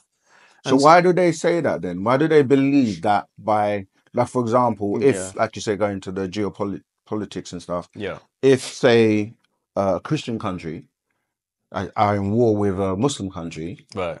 and the someone who's say a Muslim decides to do this act of sacrificing their life by blowing up, do you know what I mean, in retaliation. And they, you know, a lot of the times they they will say, I mean, I know a lot of it's dramatized with like movies and stuff, but they'll Yeah. be like, Allahu Akbar, and then blow up the place or blow Yeah. up the building because they believe that they're doing a good deed for Allah. So again, every religion has its extremists, its Yeah. fanatics. Uh, the bombing of the King David Hotel was done Mm. by Jews. The IRA, they said they were Catholics. Uh, the Buddhists in So in Islam, I'm I'm focusing on Islam. I know you're focusing on I'm Islam, saying but I'm just saying yeah. that I think within human nature, there's always an element of fanaticism and ends justify the means thinking, which Mm. we actually don't believe in. In Islam, the means justify the ends. Yeah. So, So those people just are not gonna misguided. they're not gonna become some kind of mortals or Well, special. no, because we, we, we, we can't say that you doing evil is going to make you good. However, we have to appreciate if they've been brainwashed and all this dogma has been pumped into them from a young age and they don't know any better, Yeah. then it's between them and God what happens. But we can't say this is an exemplary Okay, no, representation of point. You've Islam. answered my question. Thank you. No So in terms of if I, if someone's not a Muslim, Yeah. um, in Islam, are they considered to be kafir or kafirun going to hell, or like does every because if, if you're not a Muslim, because there's different people in the world, if we choose not to accept Islam or to Yeah. become a Muslim, what happens to those people? So I guess the blanket arg- the blanket view would be that and then God knows best. As a Muslim, I can't point to any human being and say this person's definitely going heaven or hell. Mm. It's like a Saddam Hussein versus a Mother Teresa. Even though Saddam Hussein said he's a Muslim, but he did a lot of bad stuff. And Mother Teresa was a very apparently a very good woman, Mm. and she didn't do that. How can God put one in heaven and not in hell? We leave that So to God. so when we're dealing with the day of judgment, as you mentioned Yeah. before, then how how does that work? Well, the day of judgment. Um, no, but sorry, just to finish off the other Yeah, point. yeah, go ahead. Um, yeah, so, but we do believe that as a general rule of thumb, if you've been given Islam and you've seen it for what it is, and it's come to you and you reject it, Mm. then the chances are you might be punished with hellfire. But uh, it all depends with God. And then to move to the, the the next point you mentioned with the Judgment Day, it's a it's a whole elaborate process, but there are many points to it. One is that the good deeds are measured against the bad deeds on the scale. Mhm. And then also, ultimately, it's God's mercy that makes you go to heaven. So at the end, God can say, So, so you justice, think you actually think it's all right for I know you keep saying God and Allah, God Allah, but I don't know which one you prefer. Use God or Allah? so Allah means the what can be loosely translated to as the one God, just God. if with you're dealing with Arabic, G. it doesn't mean that. But let's. Um, my point though is, Go do you think it's okay for him to have that rule that you can be punished and he will create this place for you to be punished? And how long are you punished for? So And and it, it doesn't make sense for a loving being to to create some a scenario. So God, uh, we believe Allah is Ar-Rahman, which is the most extremely loving and you know caring and compassionate, merciful. But we also believe that He is one of His other names is the most just, and justice exists as well as compassionate. If I'm a compassionate person and all I do is compassion, I'm a pushover because I don't look after the needs of the little man. But I have to balance yeah, it with not if, justice. if you're the one that is in control. This is what I'm trying to get at. If you're the one that's in control, right. there shouldn't be those two sides or two Yeah, choices and because what the one that does evil Yeah. doesn't make sense to have. the person who's done evil has used his free will to do evil. Yeah, but why does evil exist? This is my whole point. Well, the, the problem of evil is the absence of good. Without good, there would be no so evil, so vice versa. so how did evil first come about? God, evil t- came about when good existed. I guess it's like a dichotomy. When you when there is an No, ideal, 'cause there an like non-ideal. You talk about Iblis, yeah, Or Iblis, yeah, and Shaitan. yeah. Because again, when you go to Mecca, Iblis, yeah. Um, so what what is who is or what is Shaitan? Because Well- that's who's said to be representing evil or the bad side. But I don't know how Right. Shaitan became Shaitan. Yeah, yeah, And yes. then when we start to look at is Shaitan a person? Is he a rock? Because when you go to Mecca and people take stones and they throw at that rock and they they call Yeah. it Shaitan. A'udhu billahi minash shaitan rajim. You know, they did they, yeah. so I'm saying So how did shaitan So- or right. evil come about? So, with, with evil, we do believe it's been there since man.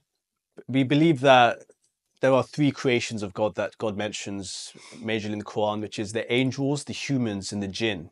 Okay. And we believe that the shaitan are evil jinn. yeah, but didn't God, Allah create them? Well, that's the thing. We're always going to be coming back to the idea of free will and abusing not free will I'm not trying to being put God's free will aside because free will comes afterwards. evil Because is in order yeah, for you to have free will, Yeah. that's having two sides to be able to choose one or the other. You see what I'm saying? So before we get to the point of having free will to choose the two sides, I'm like, how did that side come about? How did the evil or the wicked side come about? And what I'm saying is, without free will, there can be no evil. So, for instance, we believe angels exist, but we believe they don't have free will. All they can do is good. And Right. So that proves my point. You've just answered my point. well, what was that? The point that Allah can make you all good. Because if he can make the angels all good, Yeah. he should be able to make the humans all good. Oh, yeah. That's. No, we agree with that. Allah Right, so says in the so- Quran, we so could have made everyone he- Muslims. How did Iblis become Iblis? What, how did he have the ability? yeah. Because you know what Iblis means, right?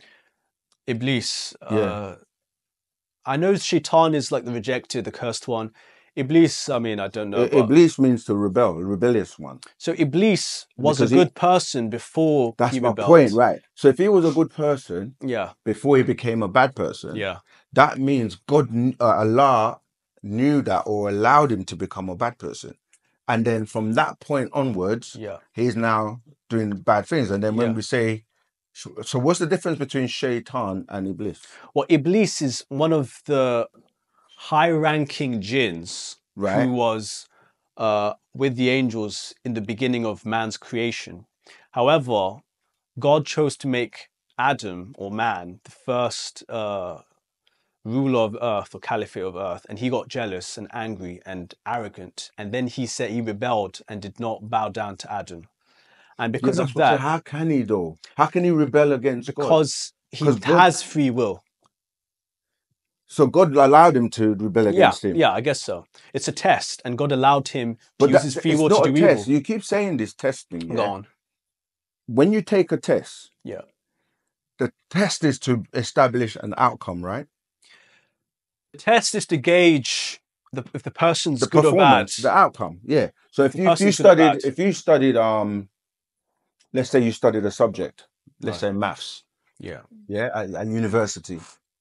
In order for you to pass, you may be given a test called an examination that you sit to see whether you've learned and passed the test. And if you get if you get a certain percentage, like you know maybe above 55, 60 percent, Yeah. you've passed the test. Yeah.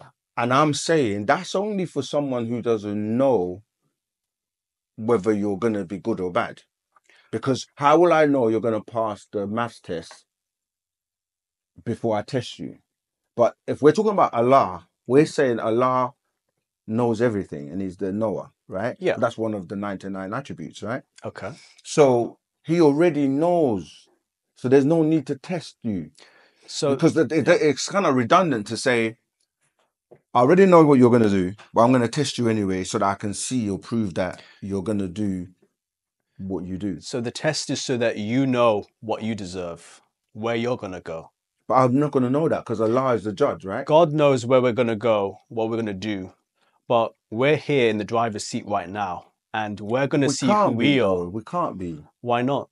So we have to make the So distinction. basically, yeah, Just because God knows where you're going doesn't mean you're destined to go. Like it doesn't mean you're going there. it doesn't mean that you don't have the agency. Like you, it doesn't limit you. You're actually still in the driver's seat. Even if you get there, you're not destined to get But there. I'm not though. If God knows where I'm going to go, no matter what I do, that's where I'm going to go. Unless you're saying I can override God's outcome. so it's it's can that, I can I if if God knows my intentions, where I'm gonna go when I do whatever I do, right. how can I avoid that? Because He's saying you're going there. So no matter He's what I do, I'm no, gonna no, go no, no, there. no. He, so you have to understand how it is. He's not saying you're going there. He's saying that, oh, I know that you're going to get yourself there. That's the distinction we need to make. We are So, making so, so ourselves every going day there. I don't call on Him to guide me and help me to walk the Suratul Mustaqim so that I can be favorable on the day of judgment. So, so can you repeat that? Okay, you know the Surah Suratul Mustaqim, So What after that Mr. means? The straight path. Yeah. the straight path. Yeah, yeah. because it says that's the narrow path because the other one is wide where you're gonna go the, the road to hell is wide but the one to heaven is slim if i can use that english Well, term. in the Surat al-Mustaqim, it just, it just means the straight path, the path of the ones who he's bestowed his grace upon. that's what i mean right Yeah, yeah, yeah. so he already knows that because he's the one bestowing that grace upon He needs to, no, so he's going to guide us, but you need to want to be guided and you need to do what he wants you to. see to that's do. what i'm saying there's so many contradictions because you're saying he's gonna guide us but then it's like if i'm gonna be guided by allah Yeah. there's no way I should have anything to worry about. But then you're saying on the other side, hand that, that I'm not safe. So you have to first of all, you have to seek guidance, and then, as we Muslims would say, you'd have to seek guidance. You'd have to accept Islam. You'd have to follow Islam. But, but you then- didn't answer my question because my question originally was, what if I don't and I'm like not a Muslim? Yeah, Um, I just live my life, my you know, peacefully. I do, you know, what I mean, I'm not a Muslim. I don't, I don't subscribe because what it sounds like is if you don't believe as we do or follow this book and do what we do, yeah. then you are a kafir. You're not. You're you're you you you're, you're doomed basically. Yeah. Eh, Yeah. If you don't, if, if- if Islam came to you and it came to you in its proper form and you rejected it, and God gave this book and guidance from the seventh heaven, we believe in space, all the way to earth. ah, you just touched on something else I wanted to. You just Yeah. reminded me. You believe in space. Go on. Yeah. So, so it came all the way there, and you said, "Sorry, God, I know better than you. I'm gonna live my life the way I want to." It says here that if I don't believe in you, that I'm gonna go hell. I think I'll choose that part. Thank you. And then, and then you get you go to hell, and you get upset about it. We don't really have. We can't really help you here. You know. So so basically, you have to- you have o- only people that are gonna make it to heaven are Muslim, according Well, to according before- to what you're saying. So before Islam, it depends on the guidance then. Mm. And then after Islam, it depends on if you get the message, if you've lived a good life, all these other factors But that God can you're decide. saying it's Yeah. uh, Quran and Islam is the last, yeah, the last testimony and The last to- testament, you could to, say. to humanity. yeah, yeah. And I'm saying to you that so you're basically saying unless people follow or become Muslims Hmm. and follow Islam, they're basically doomed. Yeah, and so what I'm saying is that's generally the point, but Yeah. we can't say who's doomed or not because some Muslims may be very evil, and then some non-Muslims may never have heard of the Quran or Islam, or maybe it was misrepresented to them, and so God will judge them differently. But the general rule is, if So it's there's come still to hope you, for people who are not who don't follow. yeah, yeah, there's still So hope that's- if if they've never come across it, etc. Okay. But if it's come to you in the perfect form, and then you rejected it, and you saw that, yeah, this is the Yeah, the message you, says. we already established about knowing whether it's in the perfect form because what is the perfect form? Well, the perfect. Well, what I mean by that is, unfortunately, Islam is misrepresented in the media as some terrorist, crazy religion, Mm. suppressive to women, and we're hateful and we hate everything. Of course, any sane person may hear what's on the news and say, you know what, that can't be the truth. Mm. But if someone came to you and answered your questions and ran you through all the points, and then after that, you were like, okay, I understand it, I got a good grasp of it, but I reject it, Mm. then there may not be any help for you. All right. Well, I seem to have asked you a lot of questions. Yeah. Y- You haven't really asked me much Oh yeah, yeah. about my way of life or whatever. Do you have any any questions that you want to ask me? Yeah, so before you Um, only mentioned fair, yeah. Of course, yeah. So before you mentioned it, I've never heard of the was it Wu Sabat? What's about yeah? Yeah, Wu Sabat. I was wondering when it came about and what its major teaching is. You said it's not a religion, Mm. so is that more like a Buddhism thing where it's a uh, kind of you know like please enlighten me. No, no, no. It's not. It's not. Um, it's a culture, as I said at the beginning. It's African spirituality. Yeah. Um, we know that Africa was here first. Every every like archaeologists, anthropologists, historians, they Cradle all- of civilization. They, yeah, exactly. So we, um, I asked you at the beginning about the difference between someone being a convert.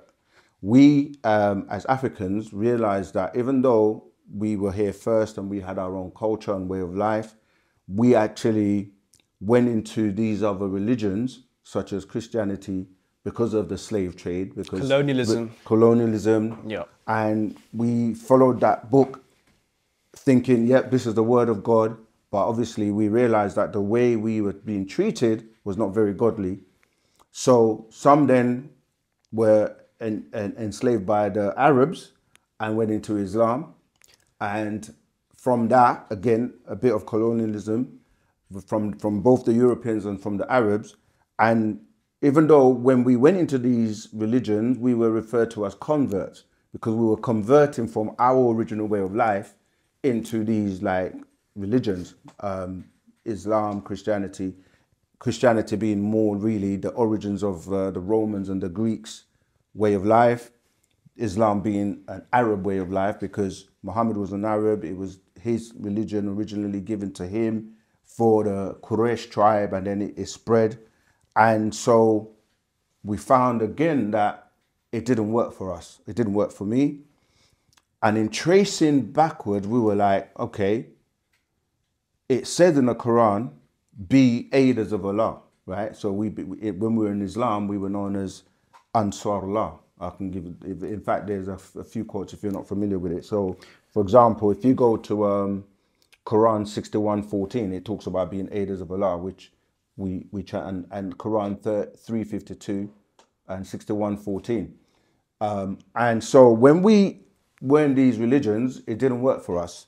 We realized that we were being subjugated and we were calling on these foreign names like Allah, like God. And we went backwards to going back to what came before the Bible, what came before the Quran. And that led us back into ancient Egypt because our faces are on the walls of Egypt. And we started to learn and study about the ancient Egyptians being black people and where they tied back to, which is coming from the stars. So when you just said about the seven heavens and things like that, I wanted to ask you a question because in Islam, um, Muhammad also traveled and he went. Uh, you familiar with the Burak?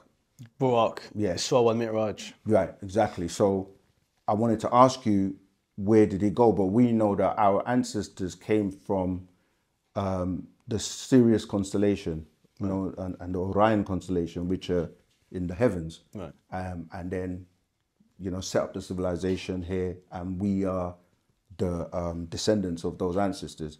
So we started to practice our way of life, which is which is Wusabat, our culture. Um, we realized that our language predated Hebrew, Arabic, um, the Semitic languages. So that's where um, we found out that we have to be ourselves, just like every other race. They have to be themselves and not really have the same God as the slave master, which is why I talked about the racism and the slavery as well. So yeah, that's kind of where I am at now because when we connected back with our our ancestors, it works for us because we we not going into someone else's foreign religion where we're not even accepted or even though Wu Sabat is for everyone as well. It's like for humanity. It's about like you're saying being pious and um, living truth. So ultimately, it's about the truth. That's why we're very particular when it comes to questioning and facts and like getting the details so that we know exactly what we're talking about because we've been yeah we've been tricked and bamboozled for for years and years in these religions But So I have to say why- one thing. So Yeah. I, you mentioned colonialism at the hands of Christians, the Portuguese, British, French. Yeah. The whole of Africa was colonized except for the Ethiopians. And I do agree that there was that, Hmm. but to say that Islam colonized Africa, I can't quite agree with that because history has told us that it was through trade that the Islam spread through Africa. Uh, most notably, there was a man called Mansa Musa, Mm-hmm. and he was the richest man in the world at the time because I believe it was Mali, Mm. Mali, West that's Africa, right. Mm-hmm. where there was so much gold there. And he made a famous pilgrimage where he gave so much gold to the Arabs in Egypt that inflated the economy. And I can't believe that he's a black man, he's the richest man, he willingly chose to be Muslim, and he's a slave master, even though he's ruining a, a country's economy from his generosity, giving all this gold. So, in terms of uh, Islam being spread by the sword and colonialism, I'd have to disagree with that point. so you're saying there was no arab slave trade No, no, I'm saying, yeah, there was slavery. It wasn't chattel slavery, and it was black people enslaving other black people and then selling them to it's Arabs. still going on till today though Ar- arabs still enslaving africans till to, till this day May, maybe maybe you're not familiar with it but this is something that So I'm aware that happening. slavery does exist, but as, as I said, if You can go to Dubai. You can go to many places today, Yeah. and they're still okay. Well, in terms of Gulf countries and these kind of sweatshop contracts, Yeah. of course, it's not ethical. I don't agree with it. But then say, and again, I'm not putting um, it on you because Yeah. at the end of the day, I, I, I know the difference. That's why when we had the conversation, myself and your um, brother-in-law, I was explaining that yeah, true Islam, when people practice it properly as being Muslims or people that are of, of peace, Yeah. not the other stuff as you said, the terrorism, Yeah, the yeah. do you know what I mean, the, all Yeah, the, the slavery and all of that. Yeah. that it is a good religion for those who practice it, for the true Muslims. Yeah. And it's the same way when it comes to Christians, and it's the same way for, for Jews. Right. And it's the same way for us, meaning right, that right. Uh, a Musbatu, or that's one who is of, of, of Sabian or who's practicing Wu Sabat, not Oh, right. everyone is going to be So Wusabat, sorry, is it a Sabian? the yeah the original because when you look when you research Sabian, there are different types of Sabians. Okay. Those, there are those that it, you know the Yemen and it talks about those that you mentioned the Ottoman and all that Yeah. that era. But Sabian, as in the original word Saba, which goes back to Shaba or Sheba, you're talking about Yeah, Solomon, the- Yeah, right. exactly. The Queen of Sheba, and that Saba ties to the stars because it means stars as well. It goes back to the to the stars.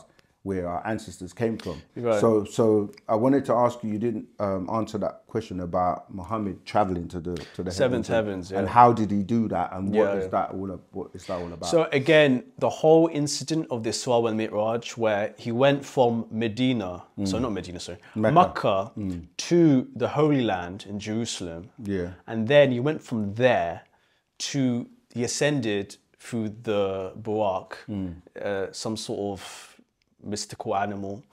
He went through space, and then he met prophets along the way, and then he spoke to Allah, close but behind a kind of veil, Yeah. yeah. Again, it's a testament to our faith. It's more of a belief. yeah. But li- listen And to what you said. people- how? yeah. Sorry. Yeah, so, yeah. so, yeah, it's quite the elephant in the room is you're telling me some guy 1,400 years ago Mm. went from one country to another country, then flew to space, spoke to God, got some words of wisdom, then came back. Mm. The whole religion of Islam, all religions, Yeah. Judeo-Christian, etc., religions, they're miracles. We believe that God sends an angel to a prophet, to a man, to tell us how to live our lives. The whole thing comes from a place of faith. We, but we do believe that there are So some you- miracles so and it- Do you prophecies. think it, it happened or didn't happen? well, I must say, I, I believe it did happen. Right. But what is this animal? What is this animal? Well, we don't know much about it. Right. All we do know is that it has the ability to traverse space, and the angel Gabriel was there as well. And Right. yeah, So, so when we deal with Wu Sabat and facts, you're saying that an animal traveled to space, basically, if you believe it, because you said you believe it. well, if God can do anything, He can do that. Okay, let me put something to you. Would you say that was an extraterrestrial, or was it a, a, Well, a craft that he would have traveled in? To It go- could have been. Right. So it it, could have it, been, it, yeah. it, it might be misinterpreted. Well, as, that's a, as the an thing. animal because you say you don't. It's mystical. You don't know what it is. So We'll have to go Isn't that- back to the Quran and Sunnah and Yeah. see what the definition and descriptions are there. Um, I personally, I don't know too much about the Buraq. It's not mentioned by name in the Quran. Uh, many times when things are omitted in the Quran and not given detail, God doesn't really find them interesting. You know, like that you're speaking for God by saying that. God says, God doesn't. So not when you say He doesn't find them interesting, not I'm find them interesting. Sorry, He doesn't find them important for our spiritual well-being. For Well, instance, it must be because how you many just said he Yeah. that was a very important aspect because he went to heaven to speak with important God. and you said he spoke with God. yeah, yeah. So did he? So the important. Did God have a mouth? Did Right, he see right. him? Did they have a so he communicated through him to him through a veil Right. and uh, So he heard his voice. so again he, he because of his definition that he gave out in surah Ikhlas it's nothing like him he doesn't have a voice like human beings have a voice No, We I'm don't saying, know. Look at the story. How Yeah. can he? Why would he have to? If God can send an angel to him, right like he got the Quran, and God can speak to him Yeah. directly, the whole setup of going on this mystical animal right traveling into space Yeah. to speak to God, but don't even get to see him because he's hiding behind a veil. yeah because And then I'm saying, so that means if, if he God, didn't see him, he must have heard him because you're saying he spoke with him.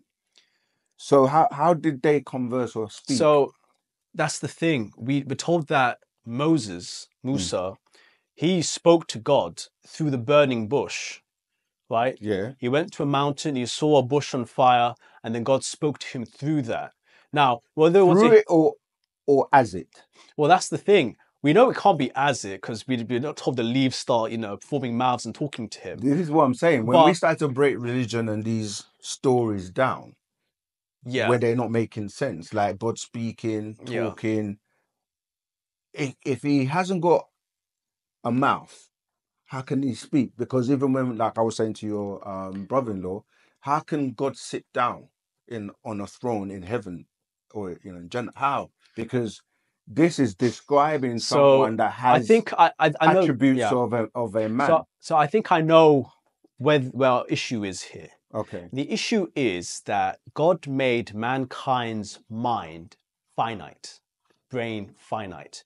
We can't comprehend the infinite.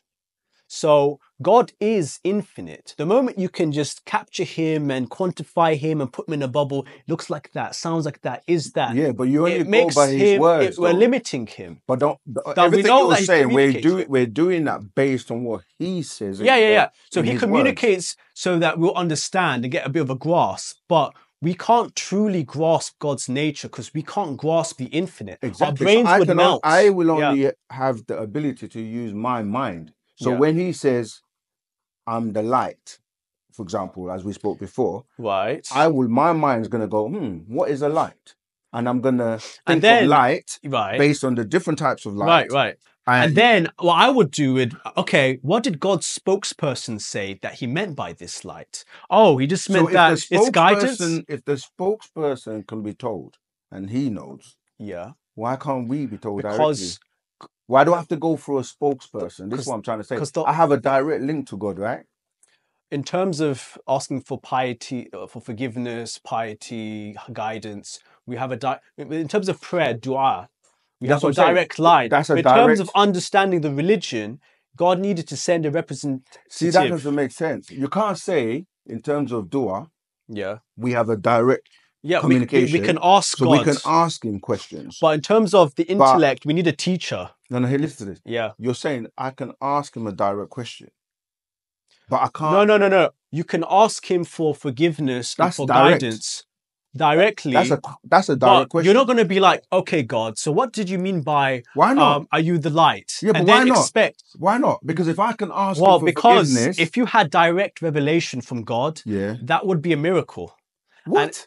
Because, so think about if you Wait, heard, wait, wait, wait. We have to. Yeah, this Yeah, yeah. one, like, so, So- you're saying I'm here talking to you. We're having direct communication. yeah, yeah, But when I do it with God, it's If- a miracle. yeah. So if one day God just starts speaking, "Hey, everyone, I exist," Yeah. that's a miracle because it's bending No, the laws of Why science. not though? And That- now, because the miracle exists, God says in the Quran, I could have made angels come down, I could have given the signs, but if that was the case, the test would be over because it's not about a test of faith anymore. You know what's true and what's not true. And uh, this is not But how God is what I'm wants it. you. You're saying you know what's true and what's not true. I But, don't, but there's saying, doubt because if I have a doubt and I can, through prayer, I can say, Oh, God, Allah, guide me. right. And But who will he guide you through? A person who's knowledgeable, who Yeah, studied, that who knows what the prophet of God, Yeah, his own I'm- I'm representation speaking said. him directly. And God answers through indirect means. That doesn't make sense, bro. But- How can I speak to God directly and then He answers me indirectly? That doesn't make sense. Like I'm here with you and I say to you, Yeah, but I'm a Um, human being. I'm not God. okay, Yeah. you're not God, but God blew into you and you became a living soul. No, God blew into Adam, our But Adam, forefather. we are Adam, No. so we're not children of Adam. We didn't come Yeah, down. I'm not my father. I'm the son of my father. And Yeah, but your father. for is- Adam, I'm the son times a billion to no, me. no. What I'm saying, you're you're a replica of your father. Not, I'm not identical to my I didn't father. say identical. I said a replica. Well, what does replica mean? Because I thought when it you- just meant the same. w- No, when you have a son, Yeah. the son will look like you. It will resemble me, but it Yeah. might not. Yeah, but And it won't be identical. You know, Sorry, sorry, yeah, it go will on. look I'm like you. Yeah, yeah, no, it's just it's uh, interesting. Um, it will look like you, Right. but not only look like you, it has your genetic makeup, Half of your. DNA. Okay, but it's still how it's like. Okay, if I get water from a glass, Yeah. if I get water from an ocean, put it in a glass, Right. and I take a drop from that glass and put it into another thing, it's still water. The, the composition that it's made up of is still water. Yeah. So, it- so to say it's but not the same, it doesn't make sense. So that's- it, it is the same when you that- break it down. the distinction is that something can't be identical completely to something else. It can because water is water. Like the components water. that make water. Like if we go scientifically, you would say water is what I know, but isn't H two O, right? but aren't the water droplets divided by time and space? Yeah, If I have water but in Africa and water in America, it's still water. I can't say they're the same though. I can They say they're the the same. They're I can say the they're the same. same kind of you know material. no, no, they're exactly the same when you break them down scientifically because H two O is so H that means, can I be you? Am I you? we are yeah because we're all one. Meaning In one way, in what way? Right. So when we look at the planet us, yeah, hydrogen is in everything. There's hy- you have Hydrogen, hyd- hydrogen. carbon, oxygen, Right, nitrogen, all living science. matters of life. Yeah. Hydro means water. Okay. Yeah, that's a component of water. Hydro. Right. That's what I'm saying. When you look at water, it's composed of. When you say H2O, you're saying hydrogen, Two hydrogens, one oxygen. oxygen, Right. right? And we all are composed of that. So we are one because we but are. we're not just water and. Oh, sorry, uh, let me finish. No, no, we are. We are water. We are composed of water. We're seventy-five percent water, Right. and twenty-five percent other stuff, carbon, hydrogen, yeah, but it's oxygen, still all part of water. and then our genetic start- makeup is different. Right, but what I'm saying is, when you look at the periodic table, for example, I know. Every get the that. first one makes the next one, and the next the components are the same Okay. throughout. So from the original source, we are connected to. But it. if I'm you and you're me, that means you're Asian and I'm black. But we know well that's not the case, right? No, no, no. But I'm I'm saying obviously there's differences, but there's similarities as well. That's why I was saying your son- Similarities your and son, identical. Yeah, but I'm saying when you break everything down scientifically, when you start to break you down, your atoms, you're composed Yeah. of atoms, and so am I. So is this table. But if so we break it down, but you can keep going further yeah, in the breakdown, as I said, to going back to what was the first element. right. You see, so to say that Allah breathed into you and or Adam, and then Yeah. Adam became hu- humanity. Do you actually and- do you actually accept that only Adam and Eve were the first people?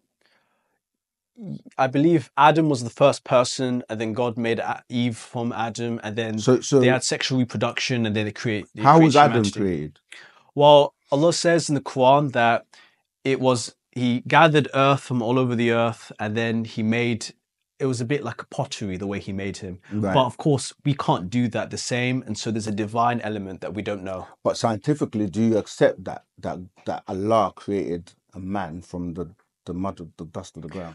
Well, science, I don't think so. Science, it's something that we can repeat, it's observable. And then religion often has things that are divine, which go against science. So you, are you saying that God is a scientist? No, I'm saying that God is- created science and he can bend science to his will. So he's a scientist because if he created science, he he's a scientist. So, Because everything that comes with science is going to be coming. I mean, what, what does scientist mean here? Because we believe because that. I'm trying to the get Big this Bang happened scientist God, in yeah. terms of you saying that he took the the mud or the dust of the ground, like right, as you say, pottery cl- using clay to form Adam, right, and then he made woman from Adam. right. And I'm saying that's not scientifically possible because men come from women, not the other way around. Right. So, So how can a how can a man come from a woman in science, in real life, in Yeah. facts, evidence, but then in the Quran, Yeah. it's going to say the opposite to that. so that's So the- so that doesn't So this is the classic make sense. clash between science and religion. right. Religion says that we came from this primordial soup, we became one cell, then many cells, and then somehow through natural selection, evolution, we became humans. And religion says we were from one couple that God made in a miraculous way. Right. And and which one is more credible? Well, that's the thing. That one is statistically impossible, and that which one, you can't prove. Which one and is from a stati- faith, No, yeah, you said that one. Which one is the Well, statistically for- possible? for us to come from a primordial soup and evolve to humans, statistically, it's not possible. But we just said that because when you go back to the building blocks of life, Yeah. the, you know, you go If back you to get the- two cells single, and you single yeah. cells, going back to the, you know, the uh, amino acids, the amoebas, you can see that, and tho- those cells divide and then evolve and then germinate and things evolve from that. that Right. That's proven. But the one But- you're oh, telling well, well, me, well, before we say that, yeah, can But- you but can you let me start finish. life again? Sorry. of, of course. So you can get a cell, an amoeba, put in a petri jar, and then it will become a human if you wait long enough or do Not enough. become a human because you said life. You didn't say human. Well, I s- There's well, different forms okay, of then, life, from- and I'm saying yeah. early life, or when you're talking about cells, they're alive. It's not a humanoid, but life exists. That's why even when you're saying that a lot, I know, but what do you mean by life you're, here? You're not letting me finish. I'm sorry. yeah, Like so, when you're saying that um, Allah took the dust of the ground right. and made man, Yeah. there was already life in the in the dust of the ground I didn't there's say life that. forms. No, I, I didn't say that. No, no, I'm saying that. I'm Okay, saying saying life. that. There's life bacteria is life. Right. There are different types of life forms. Cells are life, where those atoms that, as I said, become, you know, when they grow and they become Right. different things. So that is life. But we're not looking, or you're not, I think, saying So that, what I tho- was- that is life. What but I it was is life. saying was, I think, consciousness. Because life meaning something aerobically respires. It turns, you know, glucose into energy and its functions. That's alive, like a, like a So bacteria. saying but I'm saying that Yeah. a human being actually waking up and having free will and, uh, you know, that kind of, or even like a So cat. you're trying to say there's no intelligence in bacteria or in Uh, well, there's no consciousness the same way humans have consciousness. yeah, but there there is because let's say you have cancer. Okay, No, no, I'm not putting that on you, but I'm just saying somebody has this cancer. Yeah, right. cancer is more intelligent than a human if it can outsmart you to kill you. Right. So what do you mean by outsmart here? Because all you cancer intelligence, does you is that it divides. It just but does it- it- mitosis. It divides, yeah, yeah, divides, it, it- divides. it basically eats out the rest of the other cells. Right. So- So, but what I'm saying about so what I'm still saying, it, yeah, yeah. but that to be, you have to be conscious to know. It's like saying,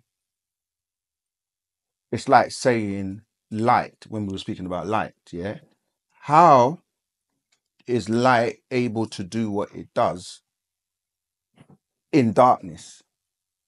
we'd say because God gave it the power and the properties to do as it Right. So we go right back to what I'm saying. That It's God is circular, the isn't it? original scientist. Yeah. Yeah. But, so yeah. so I think where we're kind of getting to is the fact of science versus religion. Yeah. yeah, And I'm saying science is more credible than religion because science is based on facts and evidence and proving what you're saying, whereas religion is based on belief. I believe this, right. so it must be.